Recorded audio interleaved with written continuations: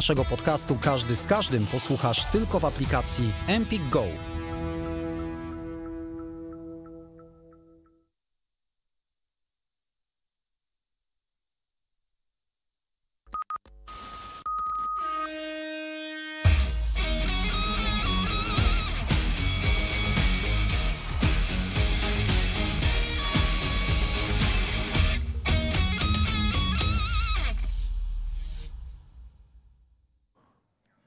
Ostatni moment, ostatni sprawdzian przed mundialem. Polska, Chile i konferencja przed e, tym sparingowym spotkaniem, na której będzie Czesław Michniewicz, będzie Krystian Bielik, a u nas także sporo o rywalach, bo połączymy się z ekspertami od Meksyku, od Arabii Saudyjskiej, bo chcemy też sprawdzić, co dzieje się e, u tych naszych głównych rywali o wyjście z grupy. Natomiast e, w studiu Artur Wichniarek. Dzień dobry, witam. Mateusz Borek. Witam, dzień dobry. My z Mateuszem już dużo rozmawialiśmy na temat powołań. To ciebie zapytam, Artur, bo ty chyba jeszcze nie miałeś e, okazji wyrazić swojej opinii na temat powołań Czesława Michniewicza. Ja wiesz co, miałem okazję, nawet e, byłem tu w studio, mm, A, no tak, konferencja byłeś, prasowa, ale my mogło to, ci, mogło to ci umknąć, bo ty byłeś na miejscu w Norblinie, tak, więc byłeś w takiej lokalizacji bardziej wipowskiej. E, No wiesz co, no dla mnie, dla mnie wielkich zaskoczeń nie ma oczywiście, no e, nie ma Mateusza Klicha, nie ma Linetego, jest za to natomiast Szymański z AEK-u jako, jako ten zawodnik, który może nam zabezpieczyć w, pewnym, w pewnych momentach e, być może turnieju, który nie będzie tylko składał się z trzech spotkań, mm, e, defensywę. Nie ma, nie ma moim zdaniem, e, wybrałbym bardziej karbownika niż gumnego. Jednak ta lewa strona nasza, gdzie pewnie będzie e, znowu Bereszyński, czyli zawodnik grający na stałe w swoim klubie na prawej stronie, będzie musiał wspomagać nas e, na lewej stronie, jeżeli Czesław Michniewicz będzie grał czwórką. Mm, e, No to tutaj patrząc na umiejętności gumnego karbownika, który porównałbym, że są podobne, na podobnym poziomie, no to jednak wziąłbym alternatywę jednak zawodnika, który może na lewej stronie dać nam, da, dać nam pewną, e, e, pewne możliwości. A To tak, nic wielkiego Skoro Artur zaczął ten temat, to podejrzewam, że jeżeli Czesław Michniewicz wystawi czwórkę z tyłu w spotkaniu z Chile, a spodziewamy się, że jednak tego wariantu e, przynajmniej, nie wiem, w 45 minutach spróbujemy, to z lewej strony tak naprawdę mamy dwie opcje, jeżeli chodzi o lewych obrońców i dwie opcje prawonożne. Artur Jędrzejczyk, Bartek Bereszyński, no bo nie spodziewam się tam Nikoli Zalewskiego, bo sam Czesław Michniewicz powiedział, że dla niego to jest bardziej skrzydłowy, ewentualnie wahadłowy. Ewidentnie Nikola Zalewski przekwalifikowany przez Jose Mourinho na pozycję lewego wahadłowego, co było potrzebą chwili, konsekwencją ciężkiej kontuzji Spinazzoli. E, No, stracił mnóstwo swoich atutów. Ja tak uważam ofensywnie, bo oczywiście piłkarza zawsze rozwija nowa pozycja, zwłaszcza pod okiem tak utytułowanego szkoleniowca. Natomiast pamiętamy, w jaki sposób Nikola Zalewski grał na lewym pomocy czy lewym skrzydle z Holandią, ile tworzył sytuacji. To on zagrał pięknie do Kasza, to on bardzo często schodził do środka, żeby współpracować, wymieniać piłkę e, z Piotrem Zielińskim. Wydaje mi się, że optymalnie dla Nikoli to jest albo lewa pomoc, albo lewe skrzydło w takim ustawieniu 1-4-3-3, ewentualnie pozycja drugiego napastnika, ewentualnie pozycja numer 10, bo tak też zdarzało mu się grać w Primaverze. Jeśli chodzi o tę lewą stronę defensywy, przy założeniu, że gramy czterema, to rzeczywiście jest to wybór wśród piłkarzy prawonożnych, bo przecież dzisiaj już nie jest czas na eksperymenty, żeby lewonożnego Kiwiora zabierać ze środka, gdzie on stabilizuje w tej chwili grę defensywną. Ma też jako lewonożny stoper wprowadzenie piłki z tego centralnego miejsca przed bramką, więc no tutaj Jędrzejczyk, Jędrzejczyk Bereszyński. Natomiast no jeśli mówimy o ustawieniu trzema stoperami, no to to myślę, że ma trener tutaj kilka e, wyborów. To jest na pewno Zalewski, to jest też mogący grać na tej pozycji, mający praktykę gry na tej pozycji. Przemek Frankowski, który ostatnio gra, grywa częściej jako prawy wahadłowy, ale też pamiętamy ten pierwszy, te pierwsze miesiące w Lons, gdzie miał świetne statystyki. Grał cały czas z lewej strony. Tak, no. I, za, i, zam, I zamykał akcję tym uderzeniem bardzo często wewnętrzną częścią stopy w kierunku dalszego słupka. To był taki Przemek Frankowski, który na pewno praktycznie no, na każdej pozycji w drugiej linii y, sobie poradzi, bo, bo nie wydaje mi się, żeby jednak trener Michniewicz poszedł tropem. Kiedyś tam powiedziałbym poglądu Jerzego Brzęczka, który pamiętam, że po meczu z Izraelem. Powiedział, że Piotr Zieliński to w ogóle musi grać na boku i to najlepiej na prawej stronie i to jest jego jedyne miejsce, żeby, żeby schodził do środka. No oczywiście, no, Zieliński ma taki potencjał, że gdybyś go ustawił na takiego Zidana, czyli takiego teoretycznie lewego, cały czas schodzącego do środka, robiącego przewagę, też by sobie dał radę. Natomiast no, wydaje mi się, że Piotrek jest dzisiaj tak ważną... Gattuso, Gattuso próbował go nawet na defensywnym pomocniku, tak więc widać, że jednak czuje się tam, gdzie teraz gra najlepiej. Piotrek się czuje To w tej chwili wszędzie dobrze, nawet się... Ale najlepiej w Napoli. Słuchaj, natomiast się nawet świetnie poczuł na takiej zainscenizowanej, nie wiem czy widziałeś, sesji w La Gazzetta dello Sport, w której e, wziął udział Piotrek, wziął udział też e, Osimen. No, mieliśmy, mieliśmy to naprawdę e, fajne zdjęcie, takie przypominające czasy mafii neapolitańskiej, także zatytułowałem je Don Pietro i niech ten Don Pietro rządzi również u nas na boisku podczas tego mundialu. Słuchajcie, po wielu meczach reprezentacji Polski, czy to towarzyskich, czy w Lidze Narodów, paradoksalnie mieliśmy więcej pytań niż odpowiedzi. To na jakie pytania odpowiedzi będziecie chcieli poznać po tym spotkaniu z Chile? No bo to tak naprawdę ostatni sprawdzian. Znaczy, No myślę, że Czesław Michniewicz powiedział wyraźnie na konferencji prasowej e, prezentującej em, tych 26 zawodników, że żeby nie wyciągać wniosków, daleko idących wniosków po tym spotkaniu z Chile, bo na pewno ta jedenastka, która wyjdzie e, e, jutro e, od pierwszej minuty, to nie będzie jedenastka ta, która ma wychodzić na Meksyk. On powiedział wyraźnie, że najdłużej w tym spotkaniu musi zagrać Glik i Bednarek, przez to, że nie mają praktyki meczowej, prawda? Glik kontuzjowany, wrócił w ostatnim meczu Benevento na, ławce rezerw, na ławkę rezerwowych. E, nie, nie, w Bednarek ostatnim meczu grał i był jednym z ojców tak, zwycięstwa ze Zespal. Spal. 90 tak, tak. minut. E, dlatego Bednarek e, cały czas nie ma, nie ma e, miejsca w składzie, e, w składzie po zmianie, po zmianie klubu um, Southampton na Aston Villa. Dlatego powiedział Czesław Michniewicz, że ci zawodnicy muszą łapać rytm meczowy i to jest na pewno no, nieoptymalne, prawda? Przed taką ważną imprezą, jakie są Mistrzostwa Świata i przed tym, jak ta defensywa e, no, musi funkcjonować już w pierwszym meczu z Meksykiem, bo to jest, e, to jest, to jest podstawa, żeby jednak w grze defensywnej nie popełniać błędów, a wiemy, e, wiemy jak dużo zależy w tej defensywie od, od w dobrej formie Glika. Prawda? Ja oczekuję odpowiedzi na kilka pytań. Po pierwsze, mm, chcę zobaczyć, kto tak naprawdę ma szansę wyjść jako partner Lewandowskiego. Czy Karol Świderski, który wydaje mi się, że wyprzedził swoich konkurentów w ostatnich meczach reprezentacji, czy Arkadiusz Milik. I gdzieś ta moja wątpliwość bierze się jednak z tych 40 dni przerwy po zakończonym regularnym sezonie w MLS. E, Pamiętamy, Karol jeszcze, jeszcze w samolocie, kiedy wracaliśmy po ostatnim meczu e, z Walii, mówił, że władze MLS stworzyły jakby możliwość e, super przygotowania do mundialu, że to będzie oznaczać regularne sparingi, że wielu zawodników jakby tyczy ten problem. Natomiast w pewnym momencie to się wszystko zmieniło, zmodyfikowało. Karol Świderski wsiadł do samolotu, przyleciał do Polski, zaczął trenować z Jagiellonią. Natomiast to się wszystko w tej chwili ograniczało w ostatnich tygodniach tylko do e, do treningów, do gierek wewnętrznych, natomiast nie miało nic wspólnego z normalną grą, jakby w, w, z normalnym rytmem meczowym i z normalną grą w meczu 90 minut na dużym, na dużym boisku. Więc jestem bardzo ciekawy, jak te 40 dni przerwy wpłynęło na Świderskiego i jak ta długa przerwa po zamknięciu już ligi, gdzie piłkarze byli skoszarowani w Arabii Saudyjskiej, wpłynęła na Grzegorza Krychowiaka. My musimy zobaczyć, jaki jest w reakcji Krychowiak na tle Chile. Czy on jest dzisiaj gotowy, żeby wyjść w pierwszym składzie na Meksyk? No i chcę zobaczyć też jakby komfort pracy zespołu, kompaktowość tego zespołu przy ustawieniu trzema stoperami, a czterema obrońcami. Bo to też nie jest tak, że wiesz, że Michniewicz yy, wygrał sobie ze Szwecją najważniejszy mecz i potem mówi, nie, nie, no ja to jestem polski Mourinho i teraz udowodnię całemu światu i całej Polsce, że równie dobrze będę grał trzema stoperami. Nie. Z czego wynikało przejście na trzech stoperów Michniewicza? Z tego, że nie mógł skorzystać z fundamentu, jakim jest środek pomocy. Moder kontuzja, Góralski kontuzja, Bielika nie było przez wiele miesięcy. Teraz dzięki Bogu ten Bielik zagrał kilkanaście meczów z rzędu w Birmingham, blisko tysiąc minut, zaliczył jedną asystę. Te mięśnie zaczęły normalnie pracować, serce zaczęło normalnie pompować krew, chłopak złapał rytm meczowy i można zacząć znowu kombinować z pewnym ustawieniem i z powrotem do tego, co przyniosło Polsce mundial. No ale przed chwilą z tej trójki pomocników, którzy wywalczyli, a ma z nimi miał żadnego.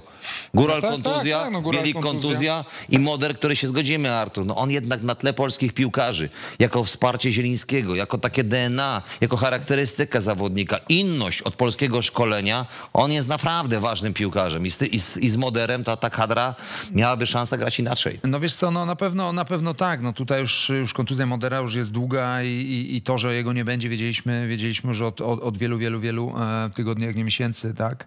Oczywiście masz rację, że Moder to jest dzisiaj pomocnik, e, bym powiedział, pokroju Gorecki, czyli zawodnik, który potrafi, czyta grę.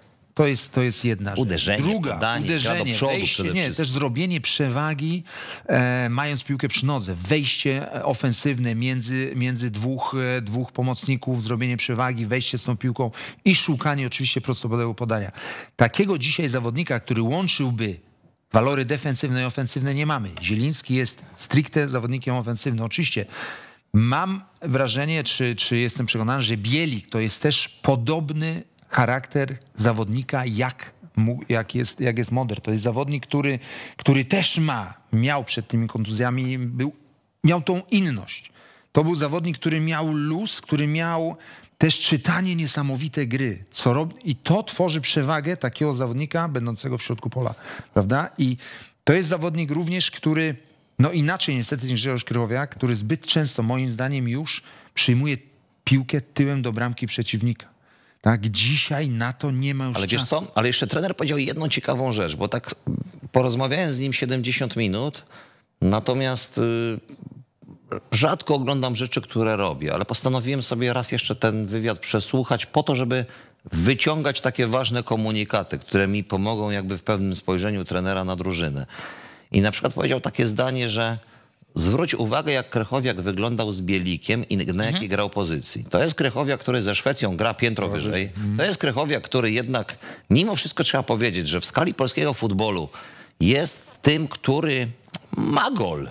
Ma gol, on potrafi znaleźć się w polu karnym. To Słuchaj, no w lidze rosyjskiej, No pamiętamy, no tam koło naprawdę 10, miał koło bardzo 10 dobre bramek w tym, w lidze lokomotywie. trafiał przecież, Natomiast no, trafiał, jak sobie przypomnę na przykład te czasy, ostatnie dwadzieścia kilka lat, to na pewno Radek Kałużny, na pewno Mariusz Lewandowski i na pewno właśnie Grzesiek Krychowiak. To są zawodnicy, Radek którzy... Michalski. Radek Michalski, brawo. To są piłkarze, którzy potrafią w tym drugim tempie, w odpowiednim tempie wejść w pole karne, zamknąć akcję i tam często są, często są skuteczniejsi i lepsi niż ci koledzy z linii pomocy ustawieni piętro I widzisz, i to jest, i to co powiedziałeś, wejść w pole karne, to, że potrafią i chcą strzelić No z czego bramkę. jest karny ze Szwecją? Z wejścia. Krychowiaka. I to, że chcą strzelić bramkę, bo teraz sytuacja, dzisiaj jadąc tutaj do Warszawy, zadzwonił do mnie e, dziennikarz z Süddeutsche Zeitung e, i pytał właśnie o, o, o Roberta Lewandowskiego i o to, dlaczego Robert nie jest może tak wartościowy w reprezentacji, jak w swoich zespołach klubowych.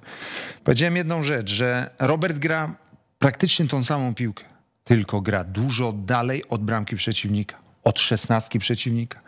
I ten ruch Roberta bez piłki, wychodzący do drugiej linii, wydaje się, grając w naszej reprezentacji, że to jest cofanie się głębokie w drugą linię, bo tak, tak nie wygląda gra Roberta, jeżeli gra, grał w Bayernie Monachium przez e, wiele lat i teraz w Barcelonie, bo on się też cofa, tylko ta druga linia tych zespołów jest tak wysoko pod szesnastką przeciwnika, że to jest nie, nie aż tak bardzo no bo widoczne. Ale wtedy Robert wychodzący, Daje miejsce. Wychodzą z nim co najmniej jeden, jak nie dwóch środkowych. Jest jeden- to miejsce, w które musi wejść Ale Był jeden bardzo zawodnik. ważny cytat z Czesława Michniewicza, kiedy rozmawiał z tobą, że on powiedział wprost, no jeżeli gramy czwórką z tyłu, to wtedy mamy skrzydłowych i to miejsce automatycznie do Roberta Lewandowskiego się skraca i tak naprawdę e, ta przestrzeń pomiędzy lewym a resztą No bo, zo- no bo zobacz, jest jak to często, często wyglądało w wielu spotkaniach. Robert Lewandowski miotający się między stoperami, często wzięty w sandwicha przez tych stoperów, potem wylane jezioro i dopiero reszta linii pomocy 20 czy 25 metrów za Lewandowskim. Dzisiaj na przykład przy ustawieniu czterema obrońcami, załóżmy z Bereszyńskim po lewej stronie, z Kiwiorem, z Glikiem na środku i z Kaszem na prawej stronie, no to mamy Bielik, załóżmy Krychowiak, jest Zieliński. jest Zieliński.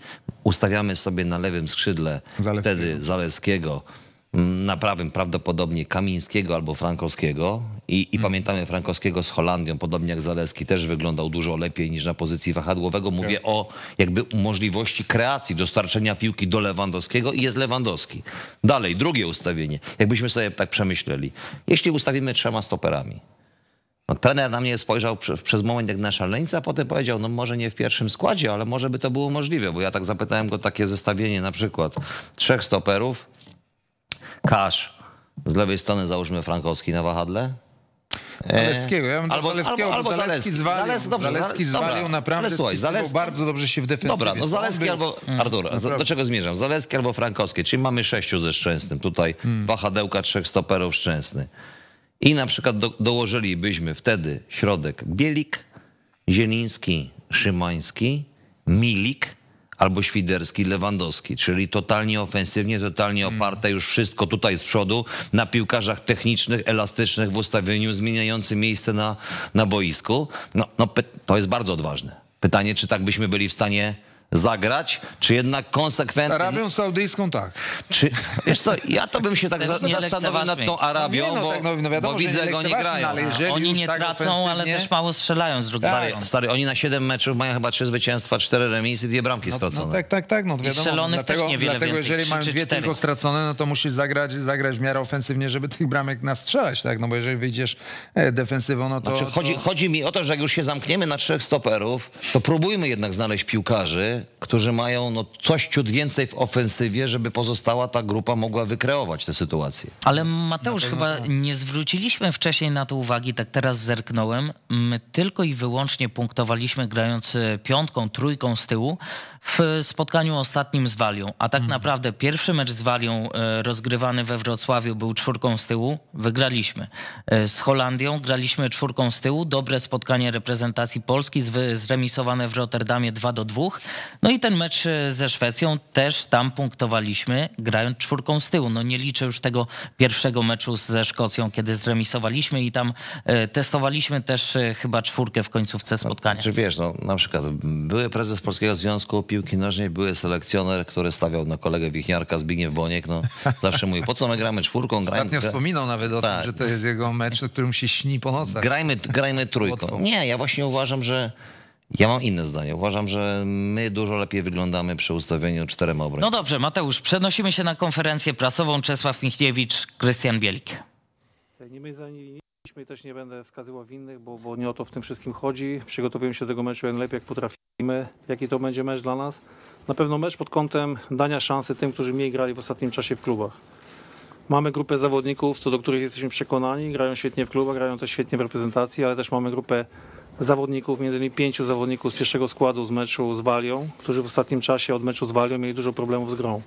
I to jest też między innymi mecz y, dla nich, żeby dali sobie i nam odpowiedź, czy w dalszym ciągu możemy na nich liczyć jako zawodników podstawowych, czy będziemy szukać alternatyw. Oczywiście dokonamy sześciu zmian w tym meczu. Będzie też taka grupa, która z założenia nie zagra w tym meczu. Będzie to pięciu zawodników, y, którzy nie wystąpią w tym spotkaniu. Już wprowadziliśmy dla nich protokół Katar. Stosujemy specjalne zabiegi cieplne na organizm, ale też trening specjalny, który odbędzie się jutro też tutaj na Łazienkowskiej do południa połączony tutaj z innymi zajęciami i oni będą wśród zawodników rezerwowych, bo możemy zgłosić 26 zawodników, ale nie będą brani tak na dobrą sprawę do, pod uwagę do gry w tym spotkaniu. Także taka grupa zawodników będzie. Jutro się dowiecie, bo do obiadu wszystko jest ustalone, po obiedzie może się zmienić, także na razie jest tak jak jest. Pięciu zawodników y, nie jest brane pod uwagę do tego meczu. To ja bym jeszcze o te personalia popytała, bo pan wiadomo, że nie powie nam tej podstawowej jedenastki, ale jest dwóch piłkarzy, których czasem pan zdradza, czy zagrają, czy nie zagrają. Wojtek Szczęsny i Robert Lewandowski. Czy ich możemy się spodziewać w podstawowym składzie? Ja myślę, że którego z nich możemy się spodziewać. Krystian, to jeszcze pytanie do ciebie mam. Ty ostatnio w reprezentacji grałeś w marcu. Od marca ci tutaj nie było. Trochę czasu minęło, dużo czasu minęło. Na ile ty to odczuwasz, jak przyjechałeś? I na ile dla ciebie mecz z Chile jest ważny właśnie w perspektywie meczu z Meksykiem? Na ile chcesz zobaczyć e, już tak na żywo, jak to wygląda na boisku? Dzień dobry wszystkim. E, No, dobrze być z powrotem, dobrze widzieć chłopaków i być w tym gronie, w tym wąskim gronie. Ale to dla mnie nic nowego raczej. Tak jak pani powiedziała, no troszkę mnie tu nie było. To było spowodowane urazem kolana, po którym nie ma za bardzo śladu już. Dziękuję bardzo.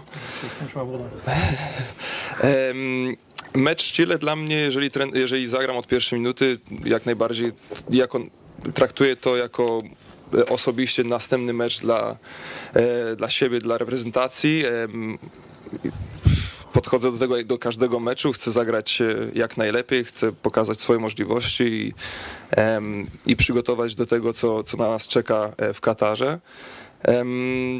Także mówię, tak jak trener powiedział, będzie dawał szansę innym zawodnikom. Mam nadzieję, że dostanę też tą swoją szansę i, i pokażę na co mnie stać.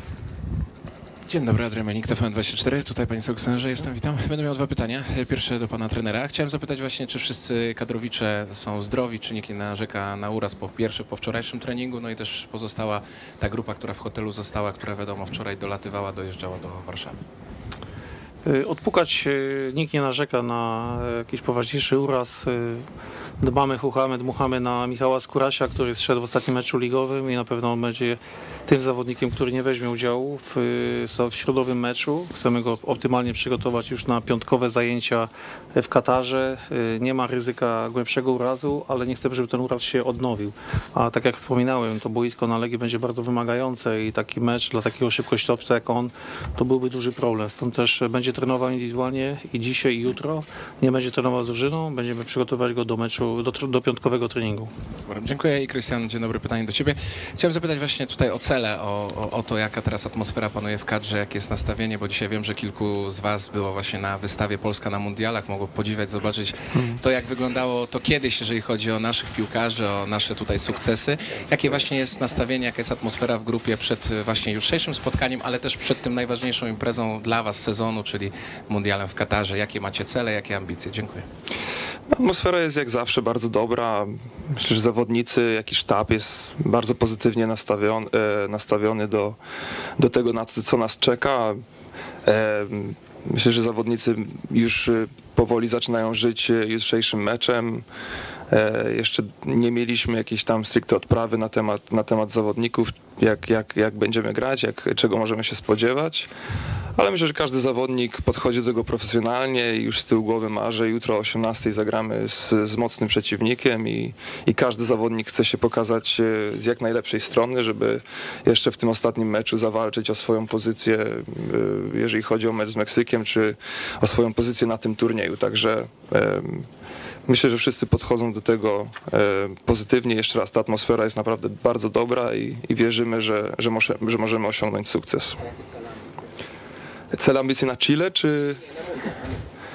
No ambicje jak zawsze, no, na- nastawienie bojowe na, na, na, na, na, na mundial, cele są takie, e, takie, że tak jak trener Michniewicz powiedział, żeby wyjść z grupy, pokazać się jak z najlepszej strony, wygry, Pierwsze dwa mecze wiemy, że Meksyk jest tym bardzo ważnym meczem.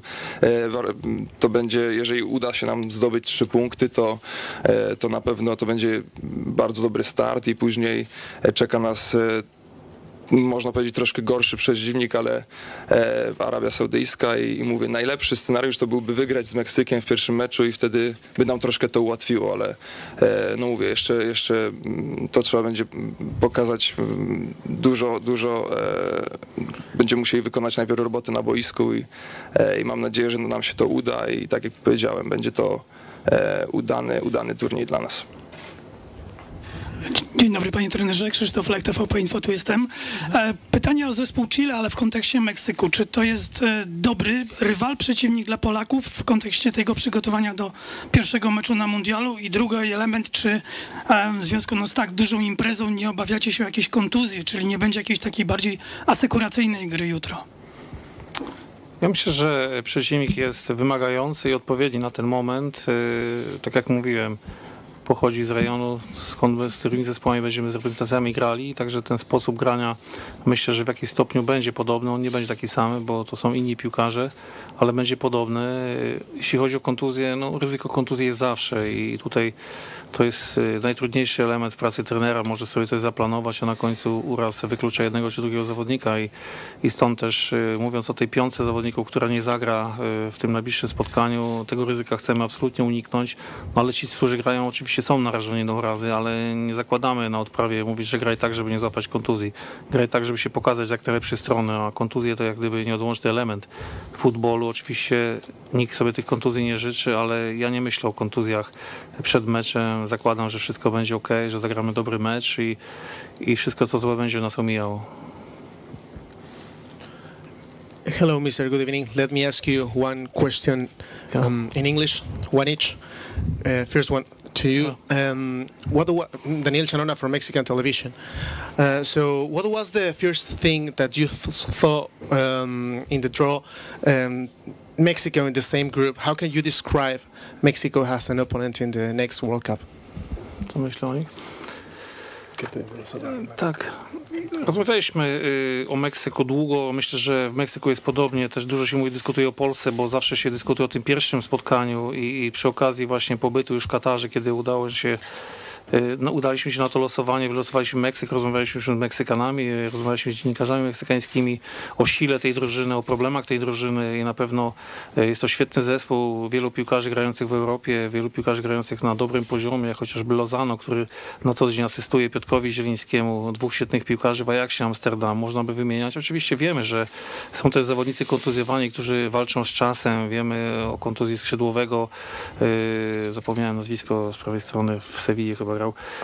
Korona, tak, y, zapomniałem o nim, wiemy o Jimenezie, wiemy o innych zawodnikach, ale mówię dzisiaj w dobie informacji, które łatwo uzyskać y, i bezpośrednio od ludzi, którzy opiekują się obserwacją, bo i Meksykanie obserwują naszą drużynę osobiście i my to samo robimy. Nasi skauci, wysłannicy są na tych meczach, na których mogą być. Podobnie będzie w Gironie w tym ostatnim meczu, podobnie jest w Riyadzie, gdzie gra Arabia Saudyjska z Chorwacją, Meksyk gra ze Szwecją, będzie od nas trener. Wiem, że od was y, z Meksyku też będą ludzie na, na naszym meczu. Myślę, że zarówno my, jak i Meksyk przed pierwszym meczem nie pokażemy wszystkiego. Y, Spodziewam się różnych rozwiązań mylących, zarówno z naszej strony, jak i ze strony Meksyku. W tym ostatnim meczu liczę, że Meksyk nie zagra w optymalnym składzie, my też nie zagramy w optymalnym składzie, a dopiero za tydzień mniej więcej o tej porze y, poznamy optymalny skład dla nas i dla Meksyku. Pytanie pewno kolejne się nasuwa, kto jest faworytem. No, według wszystkich wyliczeń y, Meksyk jest wyżej w rankingu niż my, ale tak jak mówiłem, jako trener, y, Krystian jako zawodnik wiele razy wygrywał będąc niżej notowanym, ale też zdarzało się przegrywać y, będąc wyżej notowanym z kimś słabszym. Dlatego to dla nas nie ma znaczenia, czy będziemy grali z Meksykiem, czy z kimś innym. Musimy zawsze być dobrze przygotowani, zawsze wierzyć w siebie, wierzyć w swój potencjał, wierzyć w drużynę, ale też z respektem i szacunkiem podchodzić do przeciwnika i taki respekt i szacunek mamy. Mam olbrzymi szacunek również do trenera. Wiem, że w Meksyku różne głosy krążą na, na temat selekcjonera, ale znam ten ból, także łączę się w bólu razem z nim. Dziękuję. Thank you very much. And Christian, please, um, how many people from Mexico, how many players from Mexico do you know? And let me know why Mexico could be a good uh, opponent in the next World Cup. Uh, you have said it will be the first, the first match will be will be crucial. Why? E, No nie będę pana oszukiwał, że nie jestem jakimś tam, nie, nie wgłębiłem się jakoś bardzo mocno w, drużynę Meksyku. Oczywiście tak jak tutaj trener wspomniał o ich e, głównych, e, najlepszych zawodnikach, postaciach. Tak samo jak trener powiedział, trzeba podchodzić do nich z szacunkiem. To jest bardzo dobra reprezentacja, zazwyczaj grająca bardzo dobrze na, na dużych turniejach i ja osobiście myślę, że będzie to oczywiście ciężki mecz, ale, ale wierzę w to mocno, że, że pokażemy ta, to, co, po- to, co potrafimy i to, jak dobrze potrafimy grać w piłkę i, i na koniec dnia to my wyjdziemy z tego meczu zwycięsko.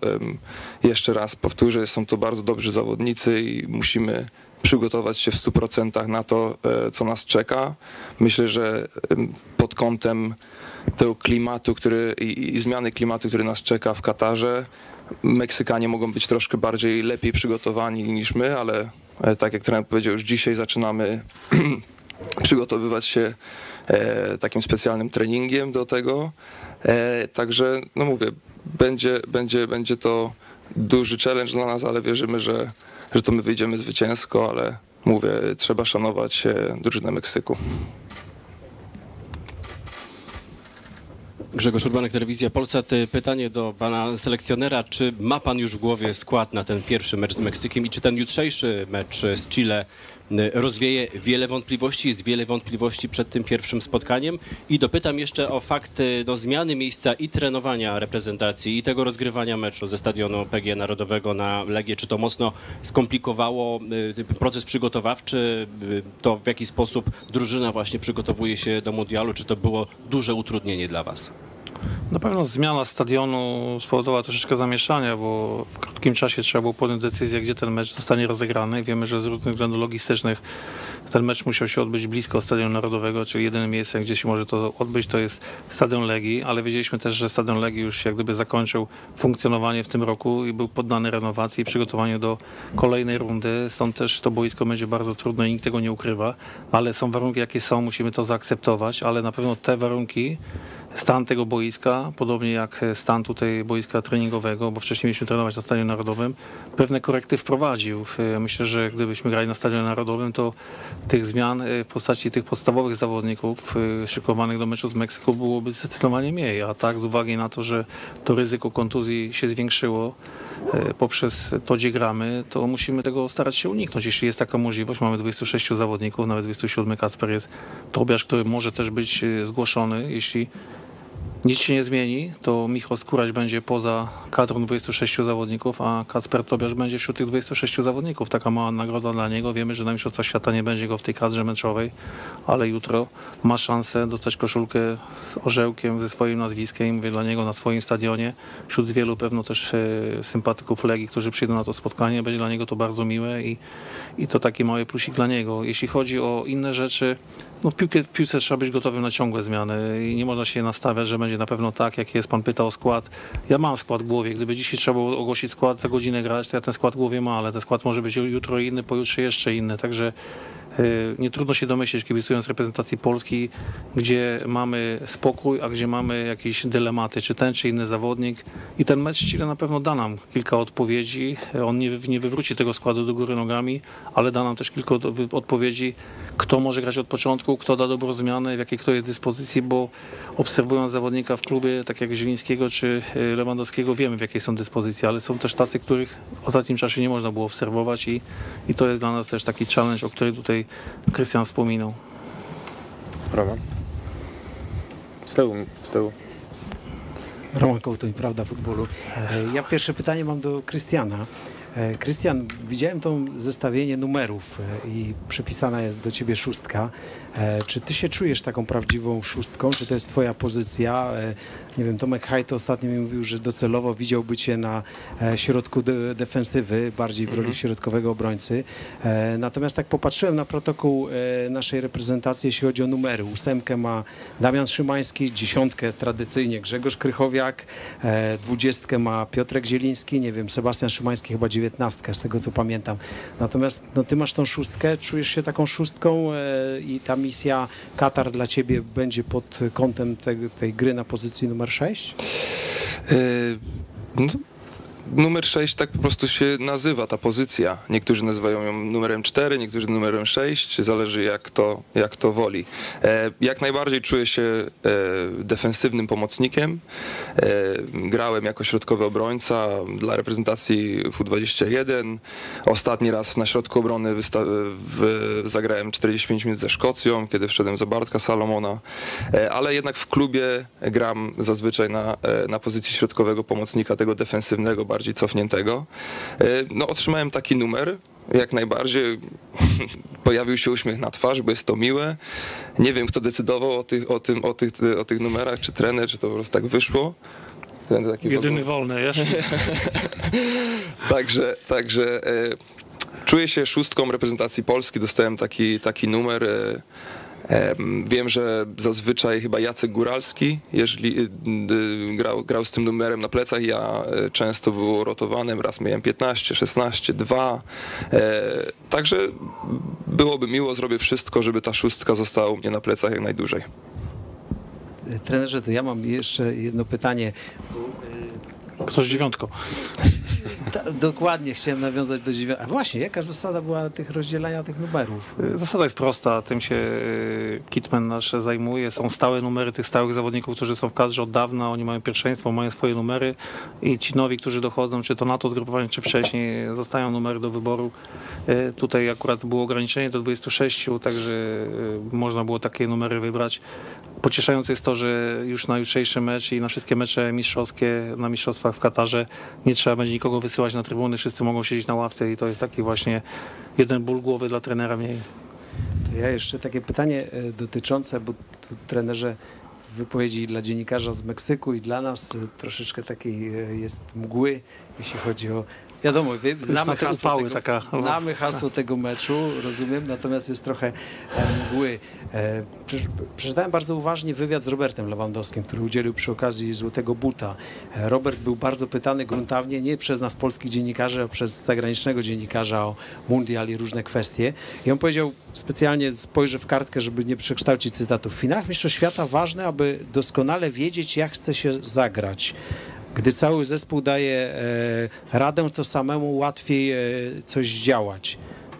To mam pytanie, my już wiemy dokładnie, co chcemy zagrać, e, bo tak widziałem, że miałeś różne myśli, jeśli chodzi o taktykę. Ja wiem, że nie lubisz pytania o, o, o system taktyczny, ale też odnosząc wrażenie w wypowiedzi publicznych w czwartek, że no, trochę zmieniało się twoje nastawienie, jeśli chodzi o taktykę w stosunku do tego, co zagraliśmy we wrześniu. Ja myślę, że y, nasze ustawienie na Meksyk, y, bo to jest ten mecz najbliższy po, po Chile, ono nie będzie różne w stosunku do tych ustawień, w których rep- reprezentacja grała. Na pewno nie zagramy w żadnym ustawieniu, w których nigdy wcześniej nie graliśmy. My graliśmy w różnych ustawieniach, niektórzy robili z tego zarzut, a ja robię z tego atut, że potrafimy dostosować się do odpowiedniego momentu, w którym jesteśmy. Mówiłem wcześniej o Kubie Kamińskim, mówiłem o Skurasiu, że wcześniej rozpatrując, rozpatrując ich w marcu w ogóle o nich nie, nie pytaliśmy. W czerwcu już był Kamiński, we wrześniu pojawił się już Skóraś, czyli o tych skrzydłach, o których mówiliśmy, graliśmy z wahadłowymi, bo tych skrzydeł nam brakowało. Dzisiaj mamy wybór. Mamy wybór w postaci skrzydłowych. Frankowski może być skrzydłowym, Zalewski może być skrzydłowym i skorzystamy z tego, co mamy. Ja nie przywiązuję się do jednego ustawienia, bo ono by było dla nas dużym ograniczeniem. Gdybyśmy cały czas chcieli brnąć w jedno ustawienie, to kontuzje by e, wymuszały grę na pozycji, na, ktoś na tej pozycji nie gra, tak? Będą grali ci, na których grają najczęściej na swoich pozycjach i to myślę, że będzie naszą siłą, bo też mamy, jeśli byśmy grali na skrzydłowych, mamy możliwość zamiany tych skrzydłowych, y, bo tak jak mówiłem, te warunki będą kluczowe. Y, Profesor Chmura cały czas o tym mówił, że nikt z nas nie wie, jak organizm zareaguje. Każdy organizm może zareagować różnie i tutaj wszystkie elementy taktyczne, jeśli chodzi o pressing, y, kiedy ten pressing stosować, jak często i tak dalej. Nikt z nas nie wie, jak, y, czy ten organizm wytrzyma. To tak jak za szybkie tempo podyktujesz w biegu maratońskim i po 20 km schodzić do bazy, nie wytrzymałeś, a wydawało ci się, że wszystko ok, a warunki ciebie zmieniły. Także ja powiem tak, zagramy w optymalnym ustawieniu, w optymalnym e, schemacie taktycznym, a to będzie schemat, który się już kiedyś w reprezentacji pojawił. Ja nie twierdzę, że to jest ten, który będzie jutro, czy to był tydzień, miesiąc temu, czy w marcu. Jeden z tych. Jak graliśmy w, ze Szwecją, to też graliśmy w innym schemacie taktycznym niż ze Szkocją i tam też między innymi Krystian grał jako środkowy obrońca z konieczności, a ze Szkocją, Szwecją, Szwecją zagrał zupełnie na innej pozycji i mając obok siebie też innych zawodników. Także jak zawodnik jest w formie, to każde ustawienie mu pasuje. Optymizmem powiało widzę. Głowa do góry, górę serca. Analizują. Analizują. Okej, skoro nie widzę. O, proszę bardzo. Dzień dobry, Bartosz Goloch, Polskiego 24.pl. E, chciałbym zapytać o stałe fragmenty gry, bo w, dzięki właśnie stałym fragmentom gry na ostatnich mundialach ostatnie pięć goli strzeliliśmy. Czy e, szykuje pan, e, jeśli chodzi o rzuty Sztuczki. wolne i rożne, jakie, coś specjalnego, czy i ile e, zajmą przygotowanie właśnie tego, tego elementu gry, jeśli chodzi o... Szykujemy trzy strzały w poprzeczkę, dwa słupek i dwie dobitki. Oczywiście, że szykujemy. Każdy zespół to szykuje, ale e, biorąc pod uwagę czas, w którym się znajdujemy, wczoraj trenowaliśmy w niepełnym składzie, dzisiaj potrenujemy tylko godzinę, bo po nas wchodzi Chile, no i warunki są takie, jakie są, to na pewno nie poświęcimy temu dużo czasu przed jutrzejszym spotkaniem, ale już w Katarze tak, mamy opracowane stałe fragmenty gry pod każdego przeciwnika, pod ustawienie, które stosują. Podobnie robią inni przeciwnicy, my tutaj prochu nie wymyśliliśmy, ale mając między innymi takich zawodników jak Krystian Bielik, bo łatwo sobie przypomnieć sytuację w meczu z Belgią, gdzie strzelił bramkę na U21 na finałach, strzelił bramkę też głową w meczu po rzucie rożnym z, w Chavez z Portugalią, mając takiego zawodnika dobrze grającego, te stałe fragmenty gry można dobrze rozegrać. Mamy piłkarzy, którzy dobrze grają głową, mamy piłkarzy, którzy potrafią zagrać w odpowiednie miejsce i też mamy pomysł na to, jak te stałe fragmenty gry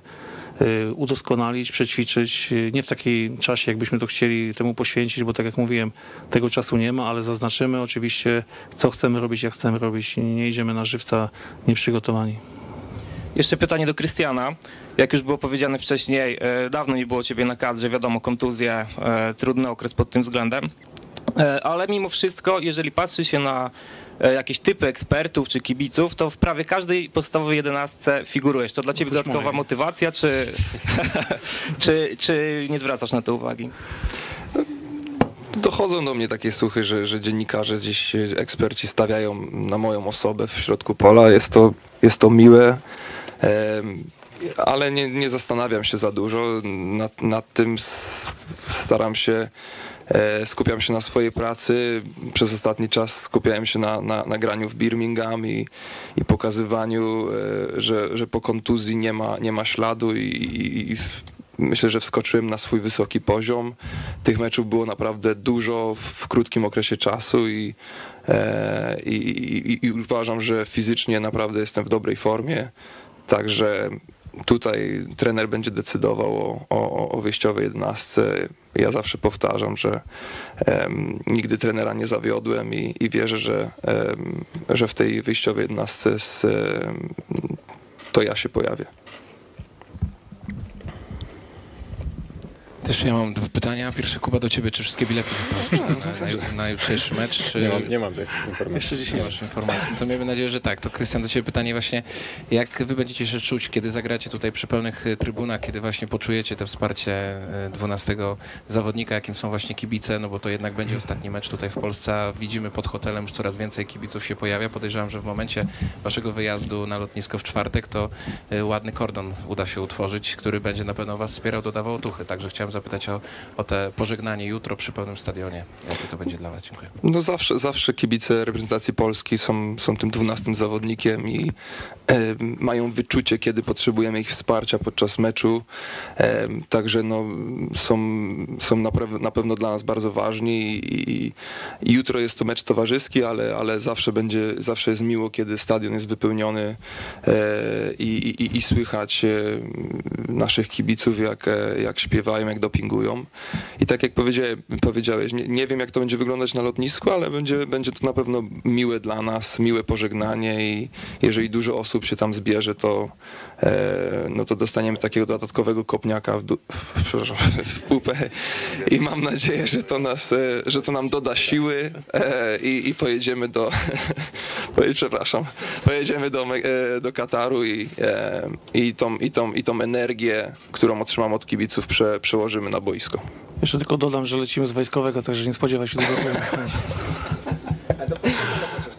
Tak? Okej, może jeszcze jedną kwestię wyjaśnię, bo e, w planach było, pan pytał, któryś z kolegów, o te zmiany planów. Mieliśmy w planach też zagranie meczu towarzyskiego z e, Legią CLJ, e, ale to miał być mecz w specjalnej scenerii na Stadionie Narodowym. Później już się nie udało tego przeprowadzić. Myśleliśmy o tym, żeby zagrać też w LTC, ale z racji tego, że musimy punktualnie o 14 wylecieć, nie, nie zgrało się to czasowo. Nie zdążylibyśmy wszystkiego zrobić, to co mamy do zrobienia. Stąd też czwartek będzie tylko treningiem regeneracyjnym w hotelu, na obiektach siłowni i wszystkich tych e, pomieszczeniach spa i stamtąd e, koło 13, 12.30 po obiedzie wyjedziemy już na lotnisko. Także szkoda bardzo. Myślę, że to ciekawa gra była dla nas i dla juniorów, ale może następnym razem.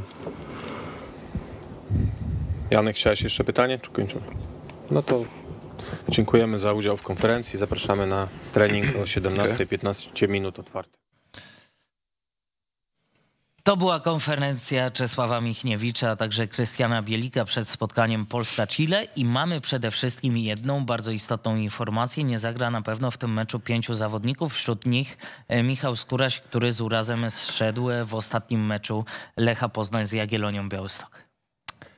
No tak, no, myślę, że skoro tutaj trener mówi o pięciu zawodnikach, którzy być może usiądą na ławce, natomiast nie będzie ich w ogóle brał pod uwagę przy ustalaniu składu, to pewnie za godzinę, dwie, trzy, jak pojawią się jakieś pierwsze przecieki, zaczną te informacje dostawać się do, do mediów. Gdybym miał wskazać, to wydaje mi się, że bez Wojtka, ponieważ skończył swój mecz przed 23 w niedzielę, dojechał później. A wygrany, prestiżowy mecz? Wydaje mi się, że może też nie być brany pod uwagę na przykład Robert Lewandowski, żeby tutaj absolutnie nie ryzykować. A jeden z nich ma zagrać, powiedział Czesław Michniewicz, czyli No albo tak, ale- Szczęsny, Powiedział, że może jeden z nich. Słuchajcie, ale, zagra. ale czy to nie jest, czy to nie jest do końca trochę dziwne? No przecież jest mecz jutro, no o jakich tajemnicach mówimy? No czego my, c, c, c, Znaczy, wiesz czego my nie możemy powiedzieć Znaczy, dzisiaj? ja- Czy ja też- zagramy na czwórkę z tyłu, że- Będziemy chcieli, w, patrząc na wynik tego spotkania, przejść na trójkę, żeby No ale to wiadomo, te, że tak te będzie. Dwie, te, dwa, te dwa ustawienia, wiesz, no nie wiadomo jak będzie. Wiadomo, przegrał trener- 0-2, to nie pod- trener powiedział to nie, już nie kilka dni puści, temu, nie że sprawdzi dwa warianty. Żeby dostać 0-4 przed meczem, przed meczem pierwszym z Meksykiem, ale, ale to jest dziwne, no te konferencje prasowe, no taje, tajemnic jakbyśmy, jakby nie wiadomo co chodzi. No stary, no trzeba co? powiedzieć, piątka, A ja ci powiem, ta piątka że- nie gra, bo ma, ma tyle i tyle meczów A Niemcy w tak mówią? Wiesz co, czy, czy ja czemu, ja jestem y, jakimś ekspertem y, niemieckim, czy No jakim? podobno. Bundesligi. ja Tak coś- mówili. E, pół, pół na pół, halb, halb. E, Nie, mnie to, mnie to zastanawia. Nie, nie, no bo- Artur. Po prostu wydaje mi się, że na początku trener Michniewicz mówił wszystko. Podawał skład, opowiadał o ustawieniu, o sposobie grania.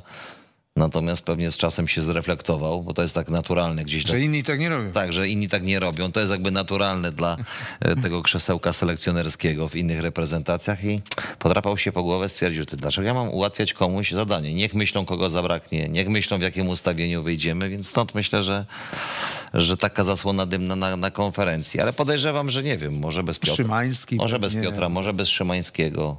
Trzeba brać pod uwagę pewnie tych zawodników, 14 jak ty wyliczyłeś, którzy grali w A, niedzielę. Znaczy nie, przepraszam cię, ja w ogóle źle powiedziałem. Ja uważam, że teraz, teraz się zreflektowałem. Myślę, że Lewandowski zagra, bo, bo też mało, mało Mało grał. No w i nie ostatnim grał- czasie. tak. E, Ta, ta czerwona, więc myślę, że Robert gra, a, a mogą nie grać Wojtek, może Milik, bo też skończył mecz przed 23, Tak wybiegał kolejne 90 minut.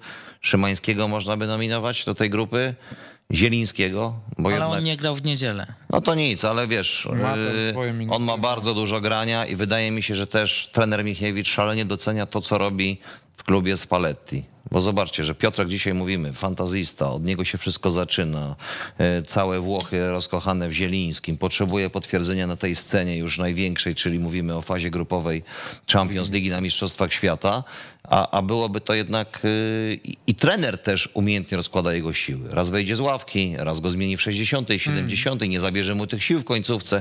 Więc mm, no jeśli się bawimy, bo bawimy się w tej chwili, nie wiemy, nie mamy takiej wiedzy. Powiedziałbym Zieliński, yy, Szymański, Szczęsny. Szczęsny Milik, Skóraś. Chociaż wiesz, chociaż Milik znowu ma coś do udowodnienia, tak? Bo jednak w tej hierarchii napastników Mhm. spadł w moim przekonaniu na czwarte Wiesz miejsce. co, a może trener już coś Tak. wie? Obserwując go? Coś wie, no może coś wie, nie wiadomo. No, No nie wiem, no to, to mówię, bawimy się. Bawimy się, bawimy. Ja chyba prędzej dorzuciłbym tutaj do tej grupy ewentualnie Zalewskiego, którego tak naprawdę trener ma już e, sprawdzonego w reprezentacji Polski, a też grał e, w niedzielę i myślę, że to może być ten zawodnik. Zobaczymy, O, chyba, chyba, chyba, będzie- że, chyba, że Nikola Arek zagra na przykład Tak. połówkę z Robertem. Żeby, żeby zobaczyli, czy, czy tutaj jest. funkcjonuje czy, czy chemia is back.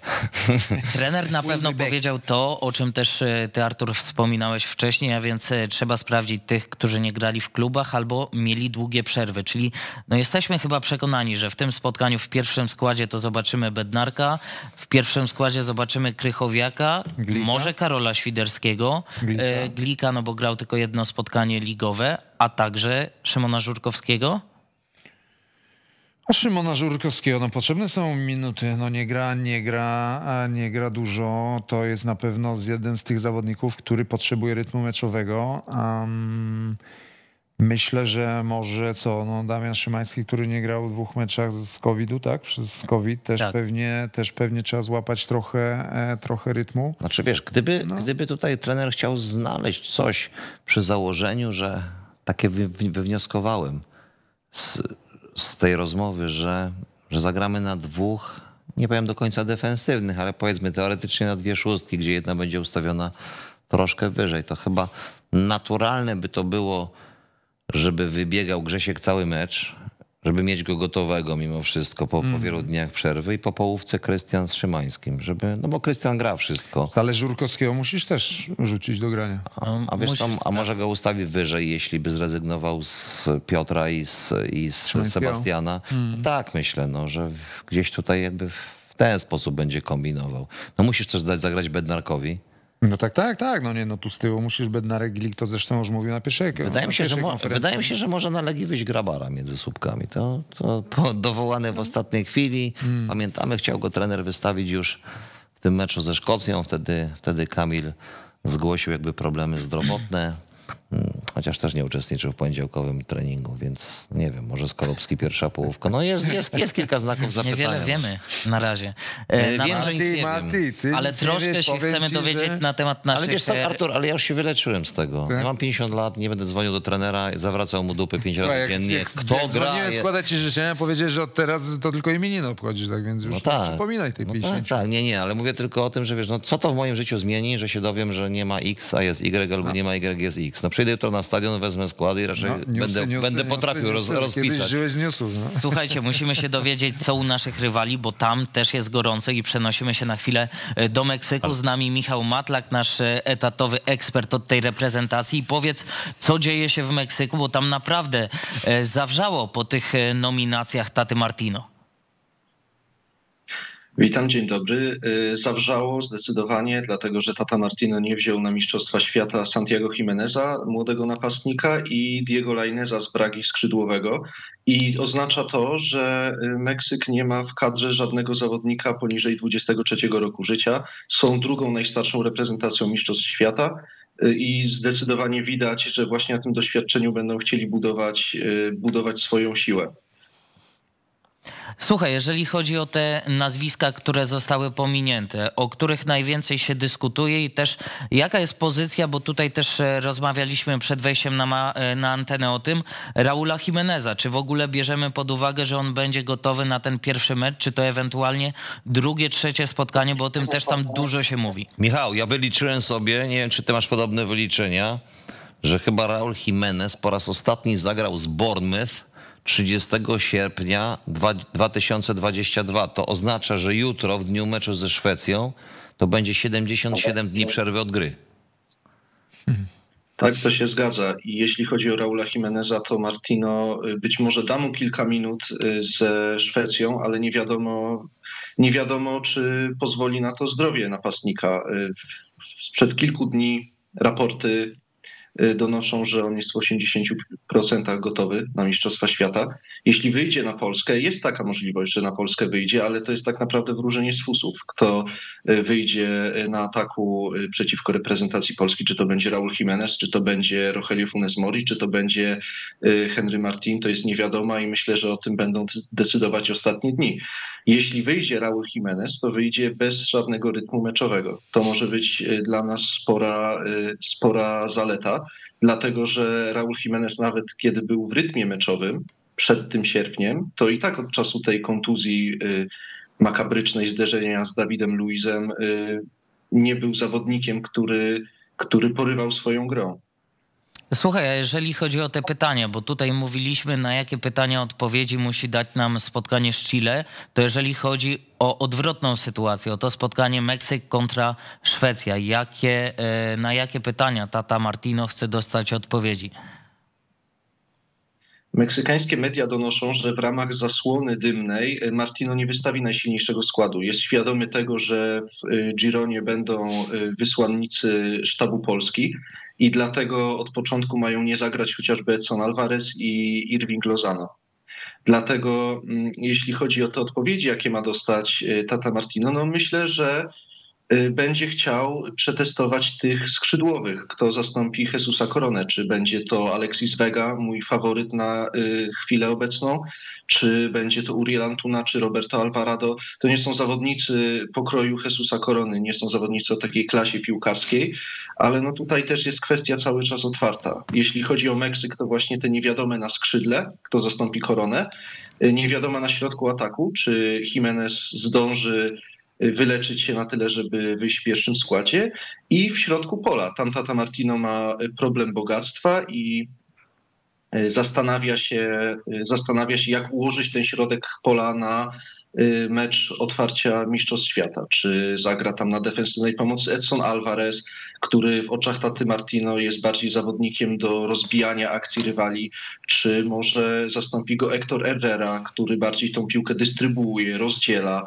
y, taki sposób ma właśnie Tata Martino, jak donoszą media, na Polskę. Mocno bierze to pod uwagę, kiedy Polska wycofa się, bo to zdecydowanie Meksyk będzie posiadał piłkę, nadawał ton spotkaniu, to czy jest sens wystawiać Alvareza na defensywnej pomocy, czy nie lepiej byłoby właśnie mm, posłać do boju Herrera, który, który bardziej tą piłkę po boisku będzie rozdzielał. To są pytania, które ma selekcjoner Meksyku y, przed meczem ze Szwecją, no i później również przed meczem z y, Polską. A czym, a czym tłumaczył e, trener niepowołanie Santiago Gimeneza, czyli napastnika Feyenoordu?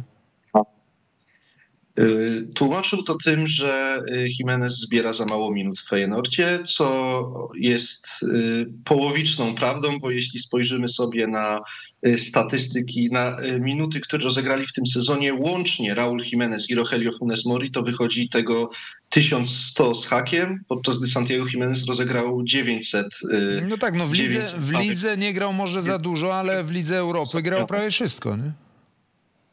Tak, on występuje w Feyenoordzie na zmianę z Danilo na ataku, no i ma bardzo dobre wejście do tego Feyenoordu. To jest nadzieja No tak. meksykańskiej piłki. Wszyscy, y, wszyscy, dlatego wywołało to takie oburzenie. Wszyscy widzą w nim podstawowego napastnika na Mistrzostwa Świata w 2026 roku. Tak samo Diego Lainez, któremu w karierze klubowej nie idzie zbyt dobrze, ale zawsze jak wchodził w reprezentacji z ławki rezerwowych, to robił dużo wiatru. To jest piłkarz świetnie wyszkolony technicznie. Nie ma za bardzo liczb, ale jest bardzo efektowny, prowadzi piłkę krótko przy nodze, ruchliwy. Na pewno przydałby się na Mistrzostwach Świata, zwłaszcza wobec nieobecności korony.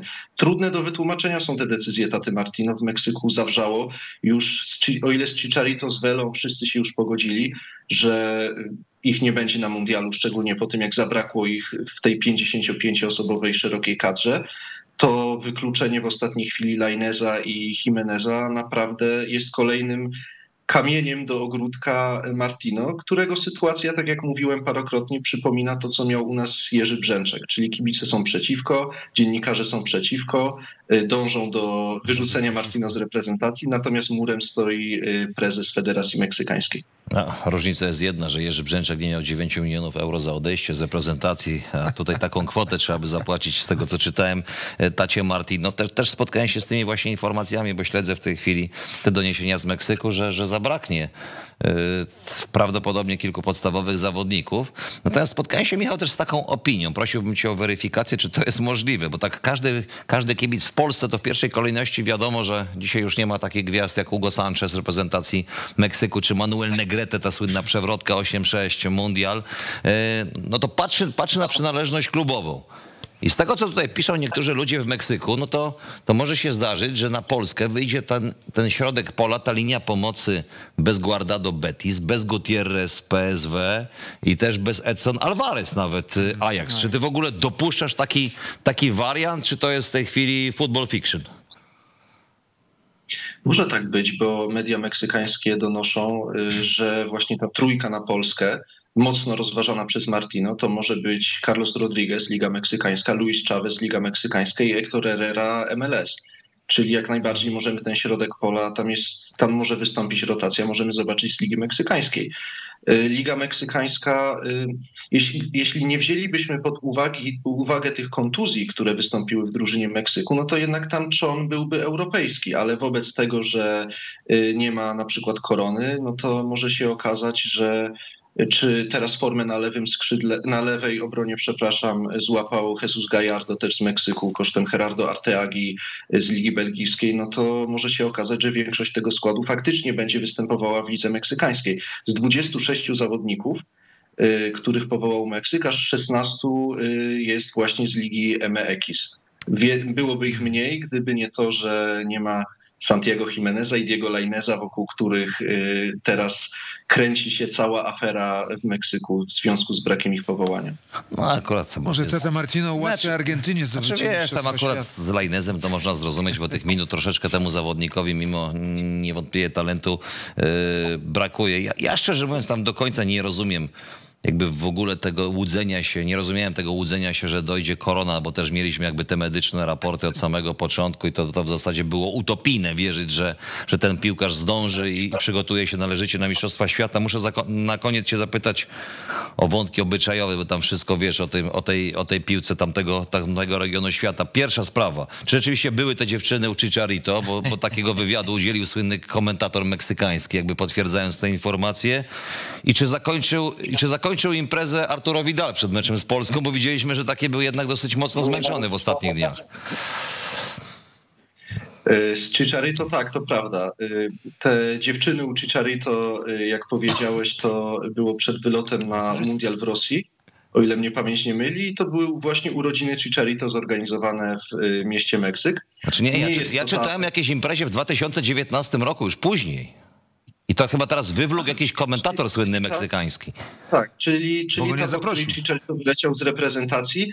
Czy były dziewczyny? Nie wiem. Na pewno była mocna impreza, w której brało udział sporo meksykańskich piłkarzy. Nie był to sam Chicharito. E, Problem w tym, że Chicharito jako jedyny nie przeprosił taty Martino, a jak już podobno przeprosił, no to było kilkanaście, kilkadziesiąt tygodni przed mundialem. Martino powiedział, że no teraz to trochę za późno. E, Pod kątem Vidala, no Vidal lubi, lubi sobie imprezować, a jest co świętować, dlatego że Flamengo wybra, wygrało Copa Libertadores właśnie z Vidalem w składzie. Co prawda było to jakiś czas temu, ale, ale myślę, że dla Vidala to nie jest żaden problem, żeby przeciągnąć sobie to świętowanie parę dni, może nie parę tygodni, ale zobaczymy w jakiej będzie formie na Polskę. Dobrze, Michał, dziękujemy Ci bardzo za ten raport, z czego wiemy już w niedzielę kolejny program e, Nasi Rywale, także zapraszamy w Twoim imieniu, a także reszty e, ekipy tego programu. Dzięki. Dziękuję. Panowie, e, jeżeli chodzi o Meksyk, też za chwilę będziemy mieli połączenie na temat Arabii Saudyjskiej z e, Mateuszem Łajczakiem, a więc polskim trenerem, który e, w Arabii nawet już teraz jest, bo, bo niedawno jeszcze był w Polsce, w Żywcu, z czego pamiętam, później Ale wrócił do Arabii i tam trenuje, tak? Możemy jeszcze nie o Arabii, tylko... Nie, nie, właśnie o chciałem jeszcze tak, tak, o Meksyku, Meksyk. tylko chciałem Czy dać co? znak, żeby już Okej, dzwonili. Znaczy wiesz co, ja bym chciał jeszcze dwa słowa powiedzieć o Chile, bo myślę tak, że patrząc na formę Alexisa Sancheza w Marsylii, a jest to moim zdaniem no dzisiaj top forma Ale absolutnie. ta od, odbudowa. Słuchajcie. powiedzieć, że... Moim zdaniem nie ma lepszego sprawdzianu dla Bednarka i Glika, któremu troszkę brakuje minut, niż dzisiaj mierzyć się z tym Alexisem Sanchezem. Jutro Alexis Sanchez przy ulicy Łazienkowskiej w Warszawie będzie szukał, uwaga, swojego jubileuszowego 50 gola w reprezentacji. On w tym momencie ma 150 meczów w kadrze i 49 bramek. Już jest najskuteczniejszym w historii, no bo umówmy się, no, te eliminacje do Mistrzostw Świata w wykonaniu Chile to była kompromitacja. Poza Brazylią, Argentyną, Urugwajem, Ekwadorem, Peru, Peru, które grało później w barażach, Kolumbią, no to Chile zajęło siódme miejsce, e, uzyskując zaledwie, zaledwie 19, 19 punktów. To było 5 zwycięstw, 4 remisy panowie i 9 porażek. Te ostatnie mecze to nie wiem, 0-2 Urugwaj, 0-4 Brazylia, 1-2 Argentyna, czyli praktycznie z wszystkimi przegrywali. Dostawali też e, z Marokiem przegrali 0-2, zremisowali z Katarem ostatnio 2-2, E, ale wracając jakby do tego składu. Tak sobie popatrzyłem i mówię tak, czterech piłkarzy, najbardziej doświadczonych, których być może zobaczymy przy Łazienkowskiej, czyli mamy na myśli tak, Sancheza, Marselia, Medela, Bolonia, bramkarza Bravo, Betis, który kapitalnie bronił w tym spotkaniu derbowym, gdzieś tam wy, wy, wy, wybronił kilka tych piłek Gudejla i Vidala Flamengo. Wiesz, że tu już czterech piłkarzy ma meczu w kadrze? Czterech. 578. 150 Doświad- Alexis, doświadczenie Słuchaj, jest. 150 Alexis Sanchez gra w kadrze od 2006 roku. Czyli to nam daje 16 lat. 15 lat w kadrze Medela, też 150 meczów w kadrze, 143 bramkarza yy, Brawo i 135 Arturo Vidala. 578 meczów w kadrze ma czterech zawodników. To tyle nie zagra w całej karierze. Minut nawet tyle nie zagrałem, dopiero meczów. Ale nie wie kadrze, a w klubie. No nie, no, Wliczając turniej dzikich drużyn w Poznaniu. Co najmniej. Mm, e, Słuchaj, no na pewno przyjeżdża doświadczenie mm, e, zawodników. No powiedziałeś o Arturo, Arturo Vidal. Mm, e, Lubi przyimprezować, ale to jest chłopak, który, który swoją jakość ma. No a a Alexis Sanchez, już wszyscy myśleli, że odchodzi do Marsylii. No, że kolejny klub, przynajmniej ja tak myślałem, że kolejny klub dał się nabrać na, e, na Sancheza, a się okazuje, że on w tej lidze francuskiej gra, e, gra rewelacyjnie i, i to jest zawodnik, który, tak jak powiedziałeś, on, on jak na niego się patrzyło ostatnie, ostatnie lata, to nigdy nie można było mu odmówić jakby zaangażowania i chęci do gry. To, że nie potrafił strzelić bramki e, e, i nie potrafił do końca po tym podpisaniu niesamowicie dobrze, dobrze dotowanego kontraktu w Arsenalu, gdzie, gdzie później tylko było coraz gorzej, coraz gorzej i zaczął odchodzić do innych klubów, e, no to faktycznie, faktycznie zespół Chile, nie wiem, ostatnio graliśmy z nimi 2-2 było, tak? W Poznaniu? Dobrze Chyba mówię? w Poznaniu to był ten Takiego, słynny bo tam- mecz komentowany przez e, Dariusza Szpakowskiego. Tam chyba Zielu, Zielu chyba bramkę, nie? bramkę wrzucił a, i lewy. No może coś takiego może być, tak? Także tam kilku chyba zawodników jeszcze mm, z tamtego meczu e, naszej reprezentacji będzie, będzie jutro grało. E, Dlatego, dlatego to jest sprawdzian dosyć, Wiesz, no, ale dosyć Alexis, ciekawy. Alexis Sanchez jest ten sam rocznik co Robert Lewandowski, 8-8. Także on ma 34 lata, 49 goli w kadrze. Robert Trzyma ma, się inaczej trochę. Robert, goli ma Tak. tych, go- Robert ma tych goli 76, natomiast naprawdę w Marsylii w tym sezonie to jest w 12 spotkaniach 5 bramek Alexisa Sancheza plus dwa gole zdobyte na poziomie Champions League.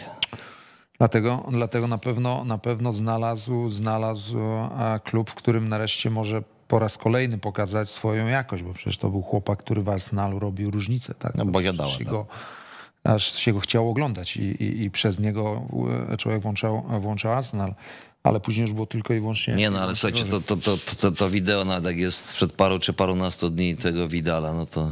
No ale świętował...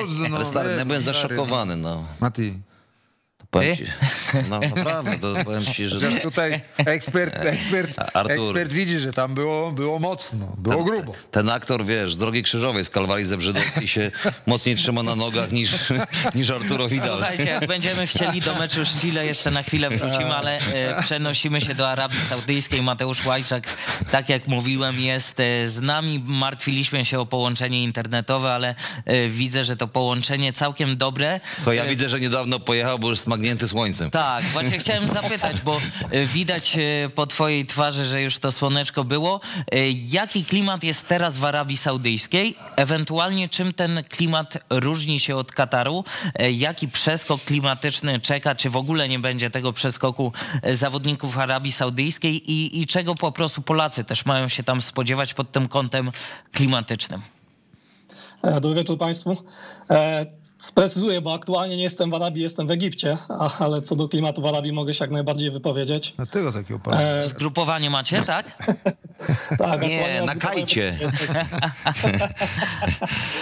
Nie, zgrupowanie, zdecydowanie zwykłe zgrupowanie. E, także jestem w Egipcie. Co do klimatu i samej temperatury i tego, czego możemy się spodziewać po porównując Arabię Saudyjską i Katar, to myślę, że piłkarze Arabii Saudyjskiej będą się czuć zdecydowanie jak u siebie, bo jeżeli porównamy te największe miasta arabskie typu Riyadh czy Jeddah e, z tym, co jest aktualnie w Doha, no to myślę, że te, te temperatury, klimat są porównywa, porównywalne. E, jeśli chodzi o wilgotność powietrza, będzie zu- zupełnie tak samo, zwłaszcza jeśli porównamy sobie Jeddah.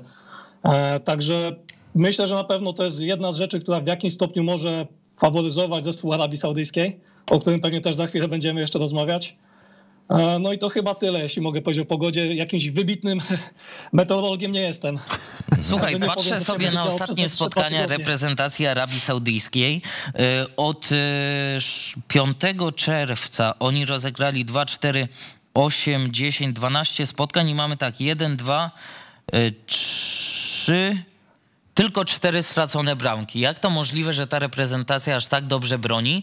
E, I czy my gdzieś tam możemy stereotypowo się spodziewać, że w tym spotkaniu my nastrzelamy bramek? Bo tutaj nawet na e, samym początku naszego spotkania z e, państwem powiedział Artur Wichniarek, no to będzie taki mecz, żeby zagrać ofensywnie, żeby postrzelać, Nie, ale czy nie, nie, rzeczywiście nie, nie, tam nie, będzie nie, taka możliwość? Nie wciskaj mi znowu. No mówiłeś Proszę, o tym. Muszę przerwać. Że ofensywny środek pola. ofensywnie, ale nie mówię Znaczy o nie, tym, no, żeby słuchaj, postrzelać Adaś, wiele bramek. Adaś, żeby bardziej uporządkować- Żeby zagrać ofensywnie. Żeby bardziej uporządkować dyskusję, panie trenerze, jeśli ja dobrze liczę, siedem ostatnich meczów, dwa zwycięstwa, pięć remisów i tylko dwie stracone bramki Albania i Panama. Prawda czy fałsz?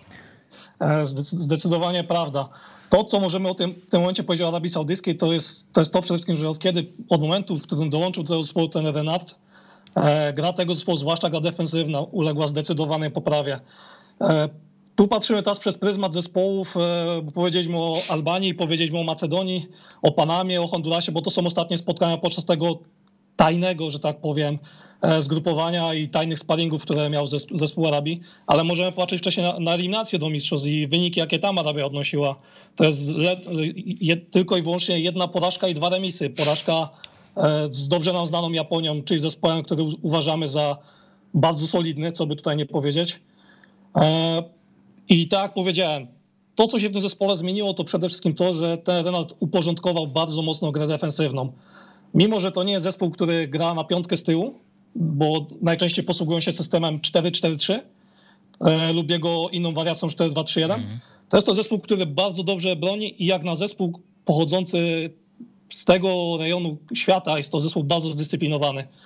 E, Bo przykładowo ja widząc tych samych zawodników e, na co dzień w Lidze Arabskiej, w której mam okazję pracować, e, nie, widzę zdecydowanie większą dyscyplinę taktyczną i zwłaszcza jeśli chodzi o defensywę, kiedy ci piłkarze przyjeżdżają na reprezentację narodową. To są zupełnie inni piłkarze, bo w lidze oni robią co chcą, bawią się tą piłką, po- pokazują swoją e, technikę użytkową, e, bardzo dobre wyszkolenie techniczne, ale niekoniecznie chcą pracować w defensywie. Ale to jest, E, ale to jest, te- co, to jest świetne spostrzeżenie, bo ja muszę powiedzieć tak, chyba skomentowałem 10 Pucharów Narodów Afryki i zawsze miałem takie wrażenie, przyjeżdżały gwiazdy Kodiwuławy, Wybrzeże Kości Słoniowej, Kamerunu, Senegalu, piłkarze z topowych klubów w Europie, którzy tutaj trzymali dyscyplinę taktyczną, a oni u siebie to przyjeżdżali jak na święto, jak na taką fiestę, kompletnie nie trzymali taktyki. A tutaj przez osobę trenera Renarda, bo ja pamiętam jak on z Zambią wygrywał Puchar Narodów Afryki, Zdecydowanie. no wtedy ta drużyna to nie wiem, no może, może w takich prognozach przedturniejowych była dziesiąta, dwunasta, no nikt na nich nie stawiał, że nie będą grać na poziomie ćwierćfinału.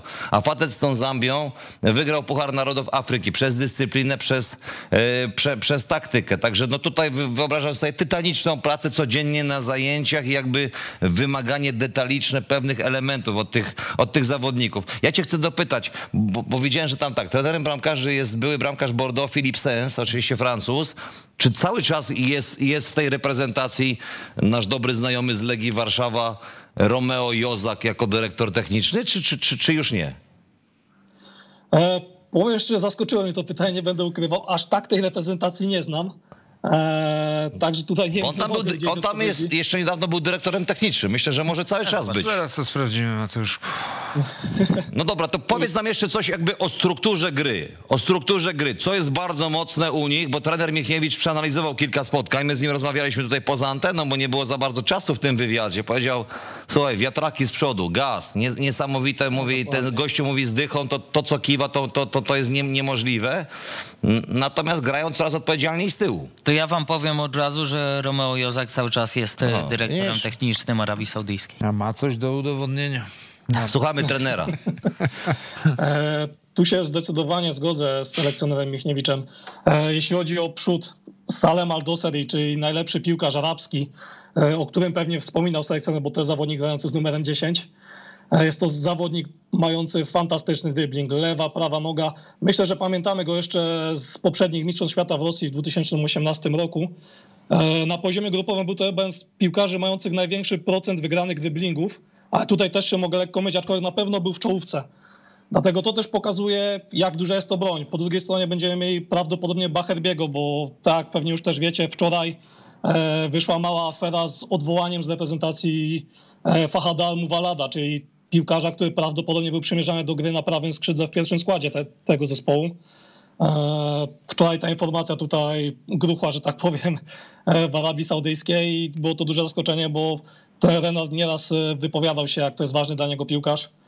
E, Co więcej, nas, następny zawodnik Firaz Albar- Albarakian, młody napastnik, nowa generacja arabskich piłkarzy. E, Piłkarz szybki, lubiący się cofać, lubiący atakować z głębi, bardzo dobrze, dobrze czujący się w kontrataku. Jeden z nielicznych napastników arabskich, którzy mają regularną grę w tej lidze. A wiemy, że w tej lidze na, na ataku grają przede wszystkim gwiazdy. Wcześniej był Gomis, można by to było jeszcze przywołać i Galo i paru innych piłkarzy, którzy tutaj występują na, jak, jako napastnicy w swoich klubach, na swoich pozycjach. E, Także na pewno tego się musimy spodziewać, a ja bym się spodziewał, że jednak, tak jak powiedziałem, w meczu z nami na pewno to będzie żelazna dyscyplina e, taktyczna, zwłaszcza, jeśli chodzi o defensywę, e, bo tak też gra tego zespołu bardzo często wygląda. Ustawienie czwórką z tyłu rzadko, rzadko przechodzą na trójkę. Bywają takie spotkania, że przechodzili do trójki, ale to raczej były fragmenty spotkań lub też końcówki spotkań. E, Także spodziewałbym się właśnie żelaznej defensywy I tego, czego możemy też oczekiwać, to właśnie grania na Aldo Seriego, bo w tym momencie to będzie, myślę, wiodąca postać, której będą szukać w kontrataku. I jego indywidualnych pojedynków jeden na jeden lub też nawet jeden na dwa, bo to jest piłkarz, który nie boi się grać e, jeden na dwa, jeden na jeden. On ma na to zupełne przyzwolenie ze strony e, selekcjonera Renarda. A wy, I jeszcze wracając do... Mhm. Wracając tylko jeszcze do Renalda, bo nieraz dostaję pytanie, kto jest największą gwiazdą tej reprezentacji. Ja osobiście uważam, że największą gwiazdą tej reprezentacji jest selekcjoner, bo to, że ten zespół wygląda tak, jak wygląda, to w moim odczuciu jest, w moim odczuciu jest przede wszystkim zasługa tenera Renalda, który wpoił tą dyscyplinę.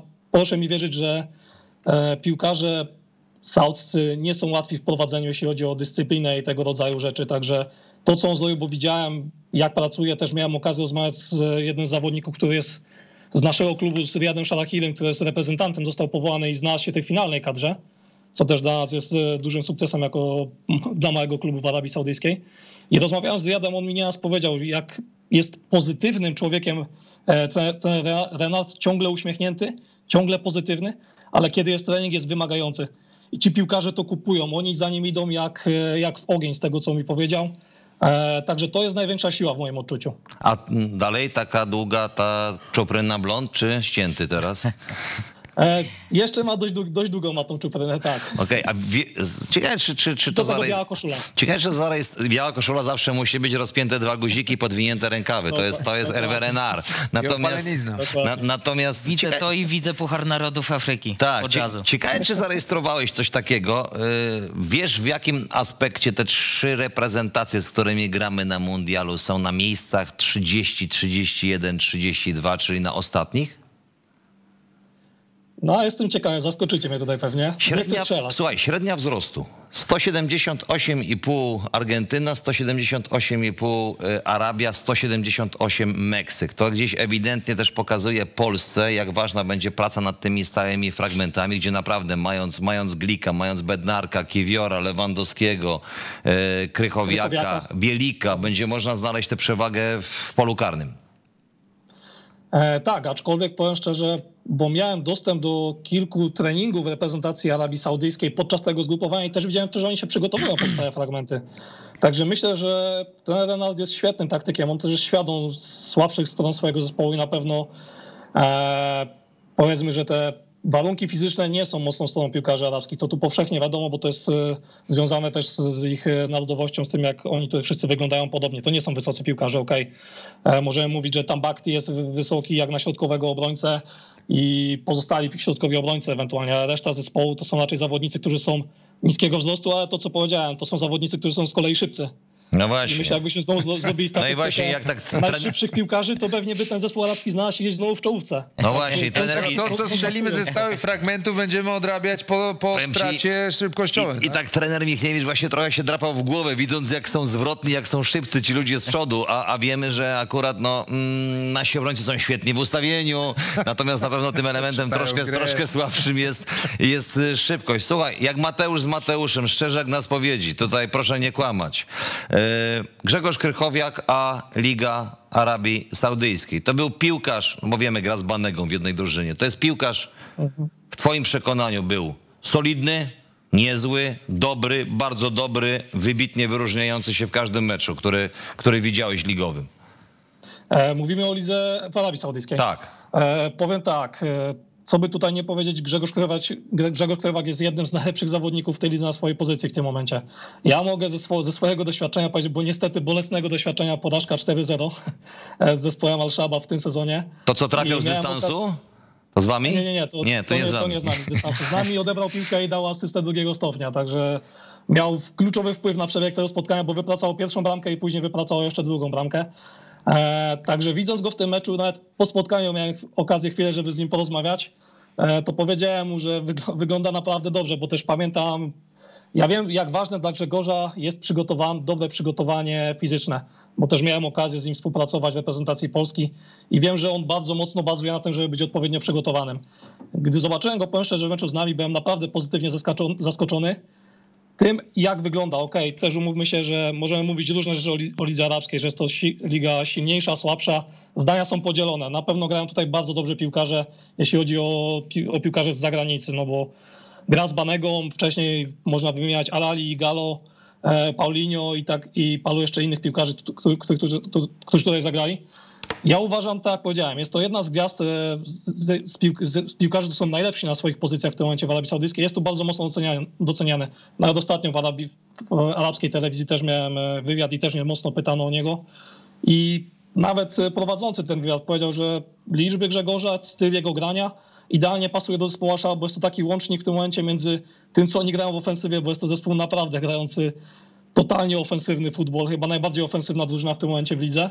I Krycha jest tym łącznikiem między tym, który bardzo dobrze e, łączy tą ofensywę z defensywą tego zespołu. No bo tre, trener, ja uważam, trener Michiewicz się, słuchaj, trener Michiewicz się uśmiechał, bo mówi tak, no ja akurat mówię, byłem na meczu, że ten Banega to wziął piłkę od bramkarza jechał jak na podwórku wszystkich. Także to... Banega w tej lidze to jest, to jest jakoś sama w sobie, to też powiem szczerze, kiedy widzę jego sposób myślenia, jak e, myśli 3-4 kroki do przodu, czasem pozostałe piłkarze, zwłaszcza z Arabii Saudyjskiej, nie nadążają za tym, co on chce zrobić. Ale jego sposób podania, podanie finalne, to jest po prostu wciąż jakość niesamowita. A słuchaj, Może nawet... tak jak kiedyś, ale ale piłkarsko wciąż, wciąż się broni tutaj. A wiesz co, nawet jeżeli chodzi o Grzegorza Krychowiaka, dużo dyskutujemy o tym przygotowaniu fizycznym i tej przerwie jednak, no bo od miesiąca Grzesiek Krychowiak e, nie ma spotkań ligowych, e, a także nie ma tych spotkań ligowych cała reprezentacja Arabii Saudyjskiej. Jaki to może mieć wpływ po pierwsze na Grześka, ale przede wszystkim na ten zespół Arabii Saudyjskiej. Jak oni wykorzystali ten czas podczas zgrupowania? Czy to jest na plus, czy na minus twoim zdaniem dla tego zespołu? Więc tak, pierwszy odniosę się może do, do Grzegorza. E, Grzegorz, wszyscy, wszyscy znamy dobrze Grzegorza, to jest profesjonalista. E, sam fakt, że poprosił o to, żeby dołączyć e, do Legii na treningi, sam o, o, czymś już świadczy. Dodatkowo wiem też, bo mam kontakt, że tak powiem, ze sztabem reprezentacji, że też trenerzy reprezentacji pracowali też z Grzegorzem i pomagali mu w przygotowaniu, odpowiednim przygotowaniu fizycznym podczas tego co by nie mówić, trudnego dla niego okresu, bo miesiąc bez grania od 19 października rozpoczęło się zgrupowanie reprezentacji Arabii. E, wcześniej zakończył parę dni wcześniej zakończyły się rozgrywki ligowe, ten tak zwany pit stop, który tutaj wykonano specjalnie pod reprezentację. I ja bym się nie obawiał specjalnie, jeśli chodzi o Grzegorza, bo wcześniej wszystkie mecze rozegrał. No, no trenerze, tak, trenerze, no ale teraz rozmawia, ro, trenerze, no ale rozmawiajmy, rozmawiajmy poważnie jednak tutaj o rytmie meczowym, bo kiedy się liga skończyła? Tak, to, to, to jest ważne. 19 no, rozpoczęła no, reprezentacja, 18, Dobra, 17, no to ja, to, ja teraz, to, ja teraz, to ja teraz trenerowi i nam w studiu czytam, bo nie, nie że jestem taki mądry, tylko posługuję się kalendarzem. Słuchajcie, trener mówi tutaj, że 19 zakończyła się liga. To ja powiem tak, od 22 października a 22 października reprezentacja Saudi Arabia zagrała z Macedonią Północną. Do jutra, tak, do 16, do meczu z Chorwacją. Mhm. Oni zagrają, uwaga, 24 dni, 6 meczów. To jest normalny tak, rytm meczowy, jak prawie jakbyś w pucharach grał. No to, Dokładnie. No, czyli, czyli ci też... reprezentanci Arabii Saudyjskiej skończyli ligę i oni mają 6 meczów w nogach. Ale też musimy wiedzieć dlaczego. Jeżeli spojrzymy na tą kadrę, E, to tam niestety, ale raczej niestety, może złe słowo, większość tych zawodników nie gra regularnie w swoich klubach i oni nie mają takiego e, przeładowania tudzież takiego rytmu meczowego jak Grzesiek Krychoł, jak w tym momencie. Grzesiek, Grzesiek zagrał 8 spotkań praktycznie w pełnym wymiarze czasowym. no tak, no ale 4 tygodnie, 4 tygodnie bez piłki, no to już jest jednak swoje, długo, tak? tak? Wiadomo, że to jest rozbrat nie, bym powiedział, 10-dniowy, gdzie łapiesz świeżość po sezonie, tylko 4 tygodnie, to, sporo. Już, to już jest sporo, tak? To już jest sporo. Tak, ja się tutaj zgadzam, dlatego Prawda? ważny pewnie będzie dla niego sparring, e, myślę, z Chile, będzie dla niego bardzo ważnym spotkaniem, mm. Bo to będzie spotkanie, w którym będzie mógł lekko odbudować sobie ten rytm meczowy. Ro, bo domyślam się, domyślam się, że akurat tam nie było problemów z dolarem, żeby zapłacić rywalom, żeby przyjeżdżali na, na kolejne mecze sparingowe w, w, Arabii, w Arabii Saudyjskiej.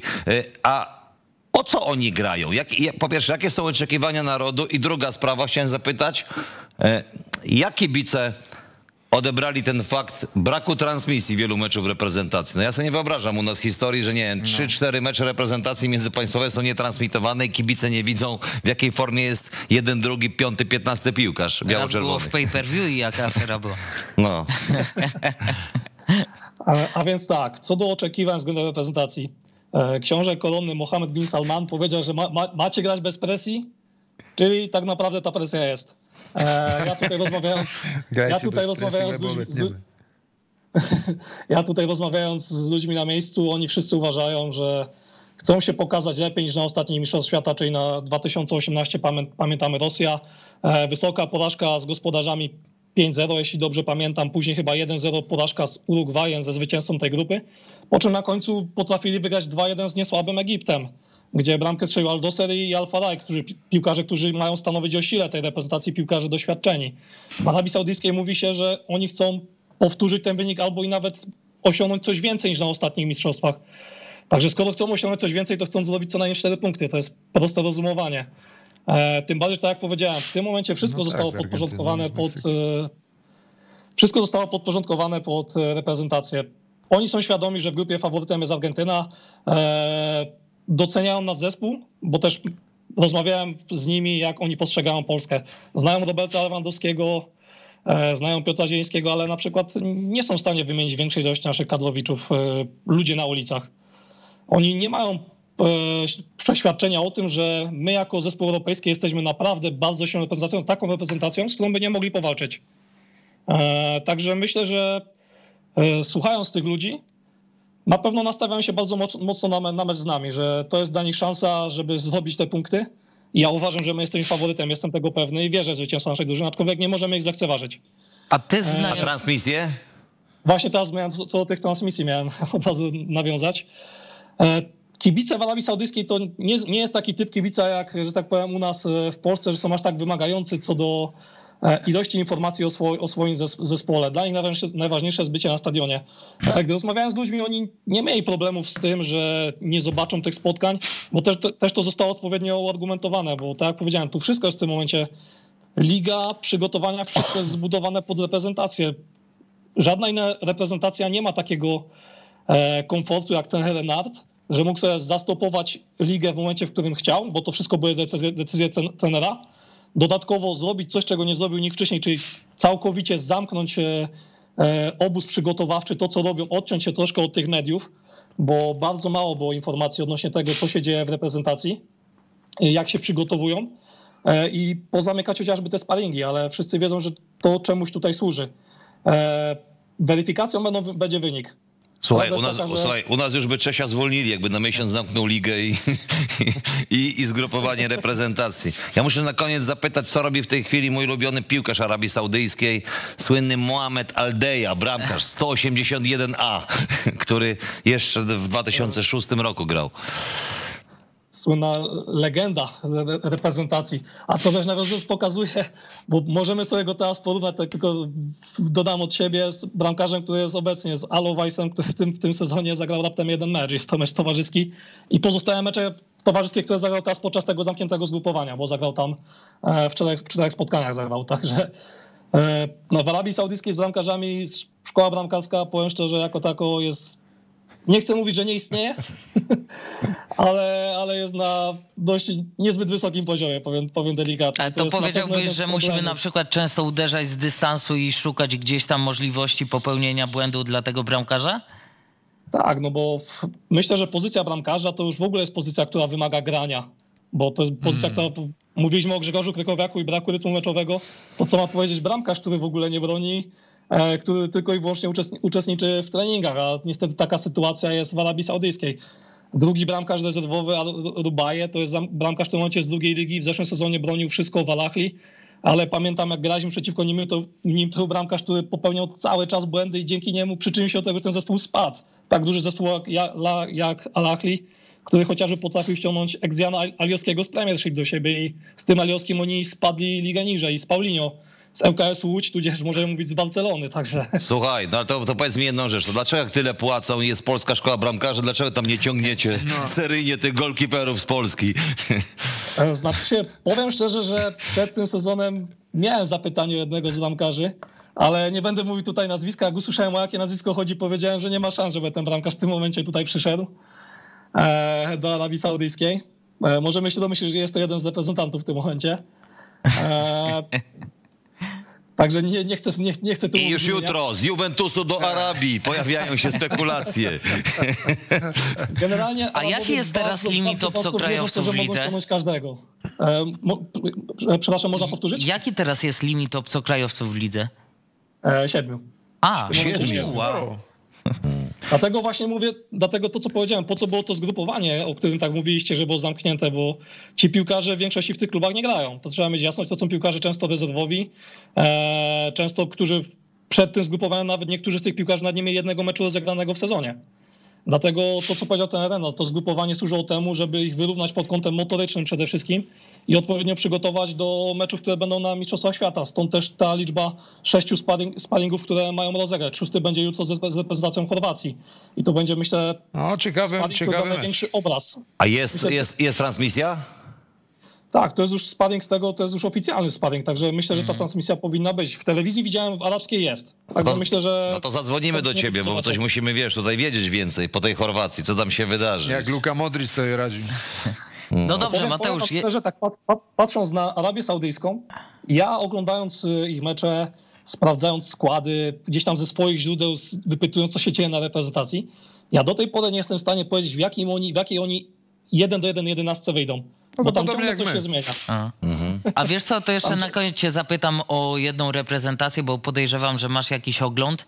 Jakbyś nam krótko mógł scharakteryzować siłę reprezentacji Kataru, bo też się zastanawiam, jak ten zespół na Mistrzostwach Świata będzie wyglądał. Znaczy się, jakbym miał porównać z reprezentacją Arabii, to jest to słab, słabszy, słabszy zespół, aczkolwiek to, to, to, to są mistrzostwa. E, Katarczycy mają ten, ten plus, że grają u siebie. To będzie troszkę inaczej. Nie chciałbym tu mówić, żeby to był kasus Korei, Korei bo nie chciałbym, żeby tak było, bo pamiętamy, jak to kiedyś wyglądało. Ale jak mamy porównać e, siłę czy potencjał tych zespołów, to ja osobiście uważam, że, że jest to zespół słabszy od Arabii Saudyjskiej. Arabia Saudyjska w tym momencie, jeśli chodzi tutaj o Azję, jest to już jakaś marka, która cały czas to ok, zespół, który ca- cały czas tą markę buduje, ale mówię, wygrana po, z Chinami, Australią, Japonią, to nie są już przypadkowe zespoły, to nie są przypadkowe zespoły. Mateusz, Mateusz, już zacząłem się bać, bo wczoraj jak tutaj był u nas ekspert, opowiadał o grupie, o reprezentacji Kataru, to mnie straszył wahadłowymi, napastnikami, mówiąc, że to finezyjni gracze. To jak ty mi dzisiaj mówisz, że Katar jest słabszy, to strach się bać. Znaczy ja powiem tak, ja nie chcę gdzieś tutaj jakoś wywyższać tej Arabii Saudyjskiej, bo ja powiedziałem, my jesteśmy zespołem na papierze na pewno zdecydowanie lepszym. Jak popatrzę się na nasze powołania, powołania Arabii, ja myślę, że na każdej pozycji mamy dwóch, a czasem może trzech piłkarzy o wyższych umiejętnościach. Ale to, to jest turniej, wiemy jaka jest specyfika turnieju. E, Pamiętajmy, że ta Arabia ma też ten handicap miesiąc przygotowań. To jest, myślę, że jakby ten Michniewicz usłyszał, że będzie miał chociażby tydzień czy dwa tygodnie więcej czasu na przygotowanie, to pewnie by skakał za dości i brał to w ciemno, bo to jest okres, pamiętam pracę w reprezentacji, jak, jak duży jest deficyt czasu na, na każdym zgrupowaniu. E, także ta reprezentacja może być zupełnie inną drużyną niż była w trakcie eliminacji, bo miesiąc czasu z reprezentacją, tak jak mówię, ten Renat miał wszystkich piłkarzy. To nie jest tak, że miał połowę składu, miał do dyspozycji wszystkich swoich najlepszych piłkarzy. Mógł z nimi zrobić ab- absolutnie wszystko. No to było tak jak kiedyś w Polsce w 80 latach za kadencji Antoniego Piechniczka, że też miał no, tygodnie na przygotowanie reprezentacji do mundialu. Ostatnie pytanie, ponieważ kanał sportowy uczy, bawi, zajmuje się nie tylko sportem, ale też czasami gdzieś zajmujemy się tą stroną społeczną, finansową, obyczajową życia. E, Podatki dla piłkarzy w Arabii, wysokość. Dobre Są? pytanie. Czy Dobre netto pytanie. wszystko? Do, dobre pytanie z tego, co mogę powiedzieć, to tu wszystko jest e, na rękę raczej liczone. I to jest, i to jest właśnie, i to zachęca Artura, który stawia pierwsze kroki w menadżerce, żeby się zajął polskimi Jak, jakie, bramkarzami. kontrakty, jakie kontrakty tak mniej więcej? Średnie? Dla gwiazd? Mam być, mam być szczery. Ja nie chcę się odnosić dla gwiazd, bo to są naprawdę już wysokie kontrakty, ale zespoły, powiem tylko może te zespoły z dolnej półki, bo tu mo- mogę porównać w jakimś stopniu.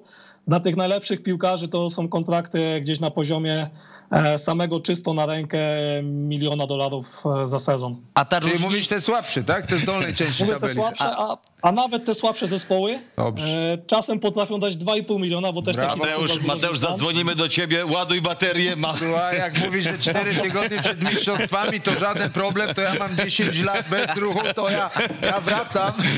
A różnica między zarobkami e, tych zawodników ściąganych z Europy, a Saudyjczyków, ona jest bardzo duża? E, tak, jest, jest też. Ta, różnica jest dość duża, bo gwiazdami są to przede wszystkim piłkarze ściągani z zagranicy, nie, nie tylko z Europy, bo też dużo piłkarzy tutaj przyjeżdża z Afryki chociażby.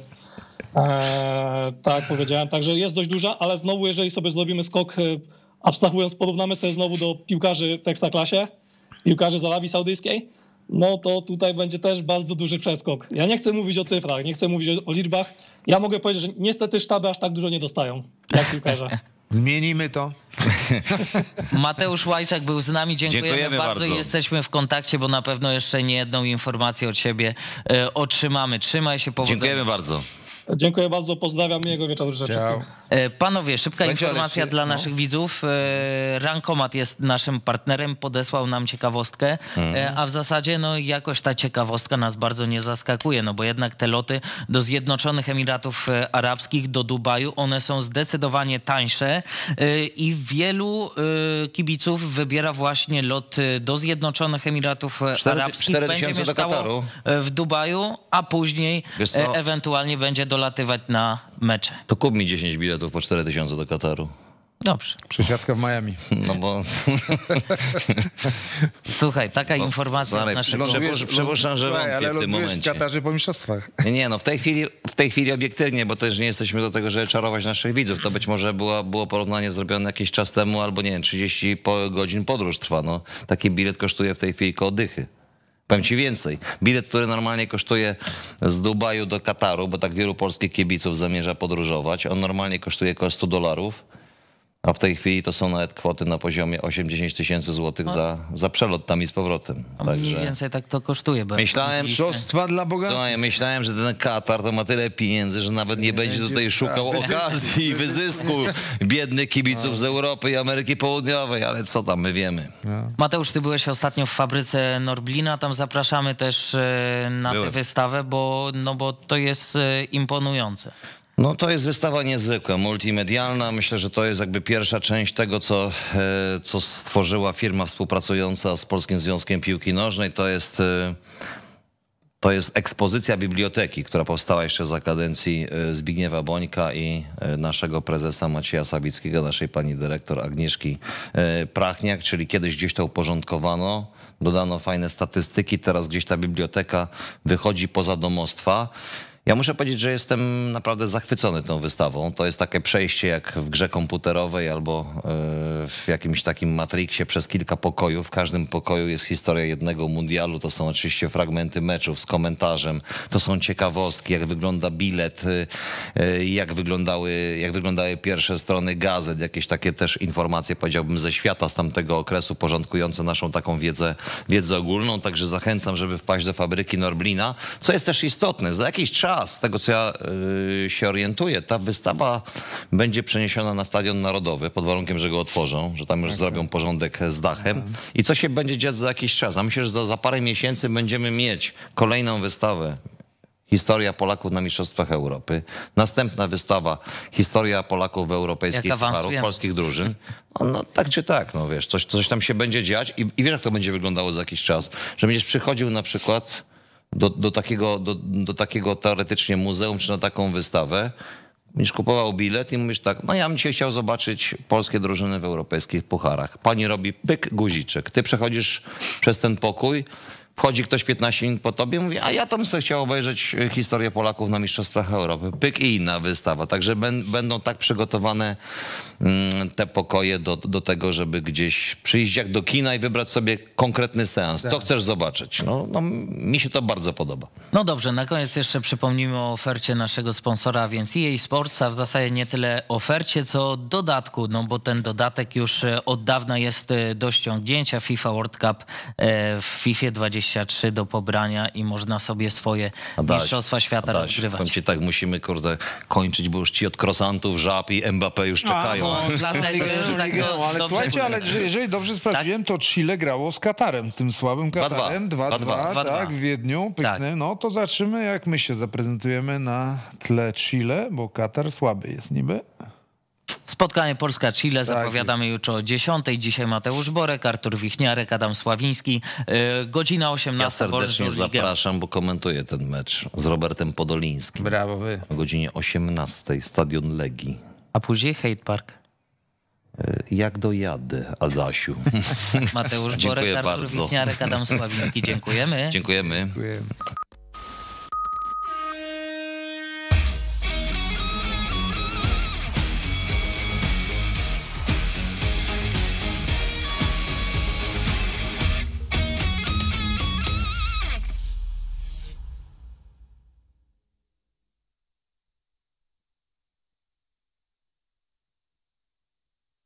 Naszego podcastu Każdy z każdym posłuchasz tylko w aplikacji Empik Go.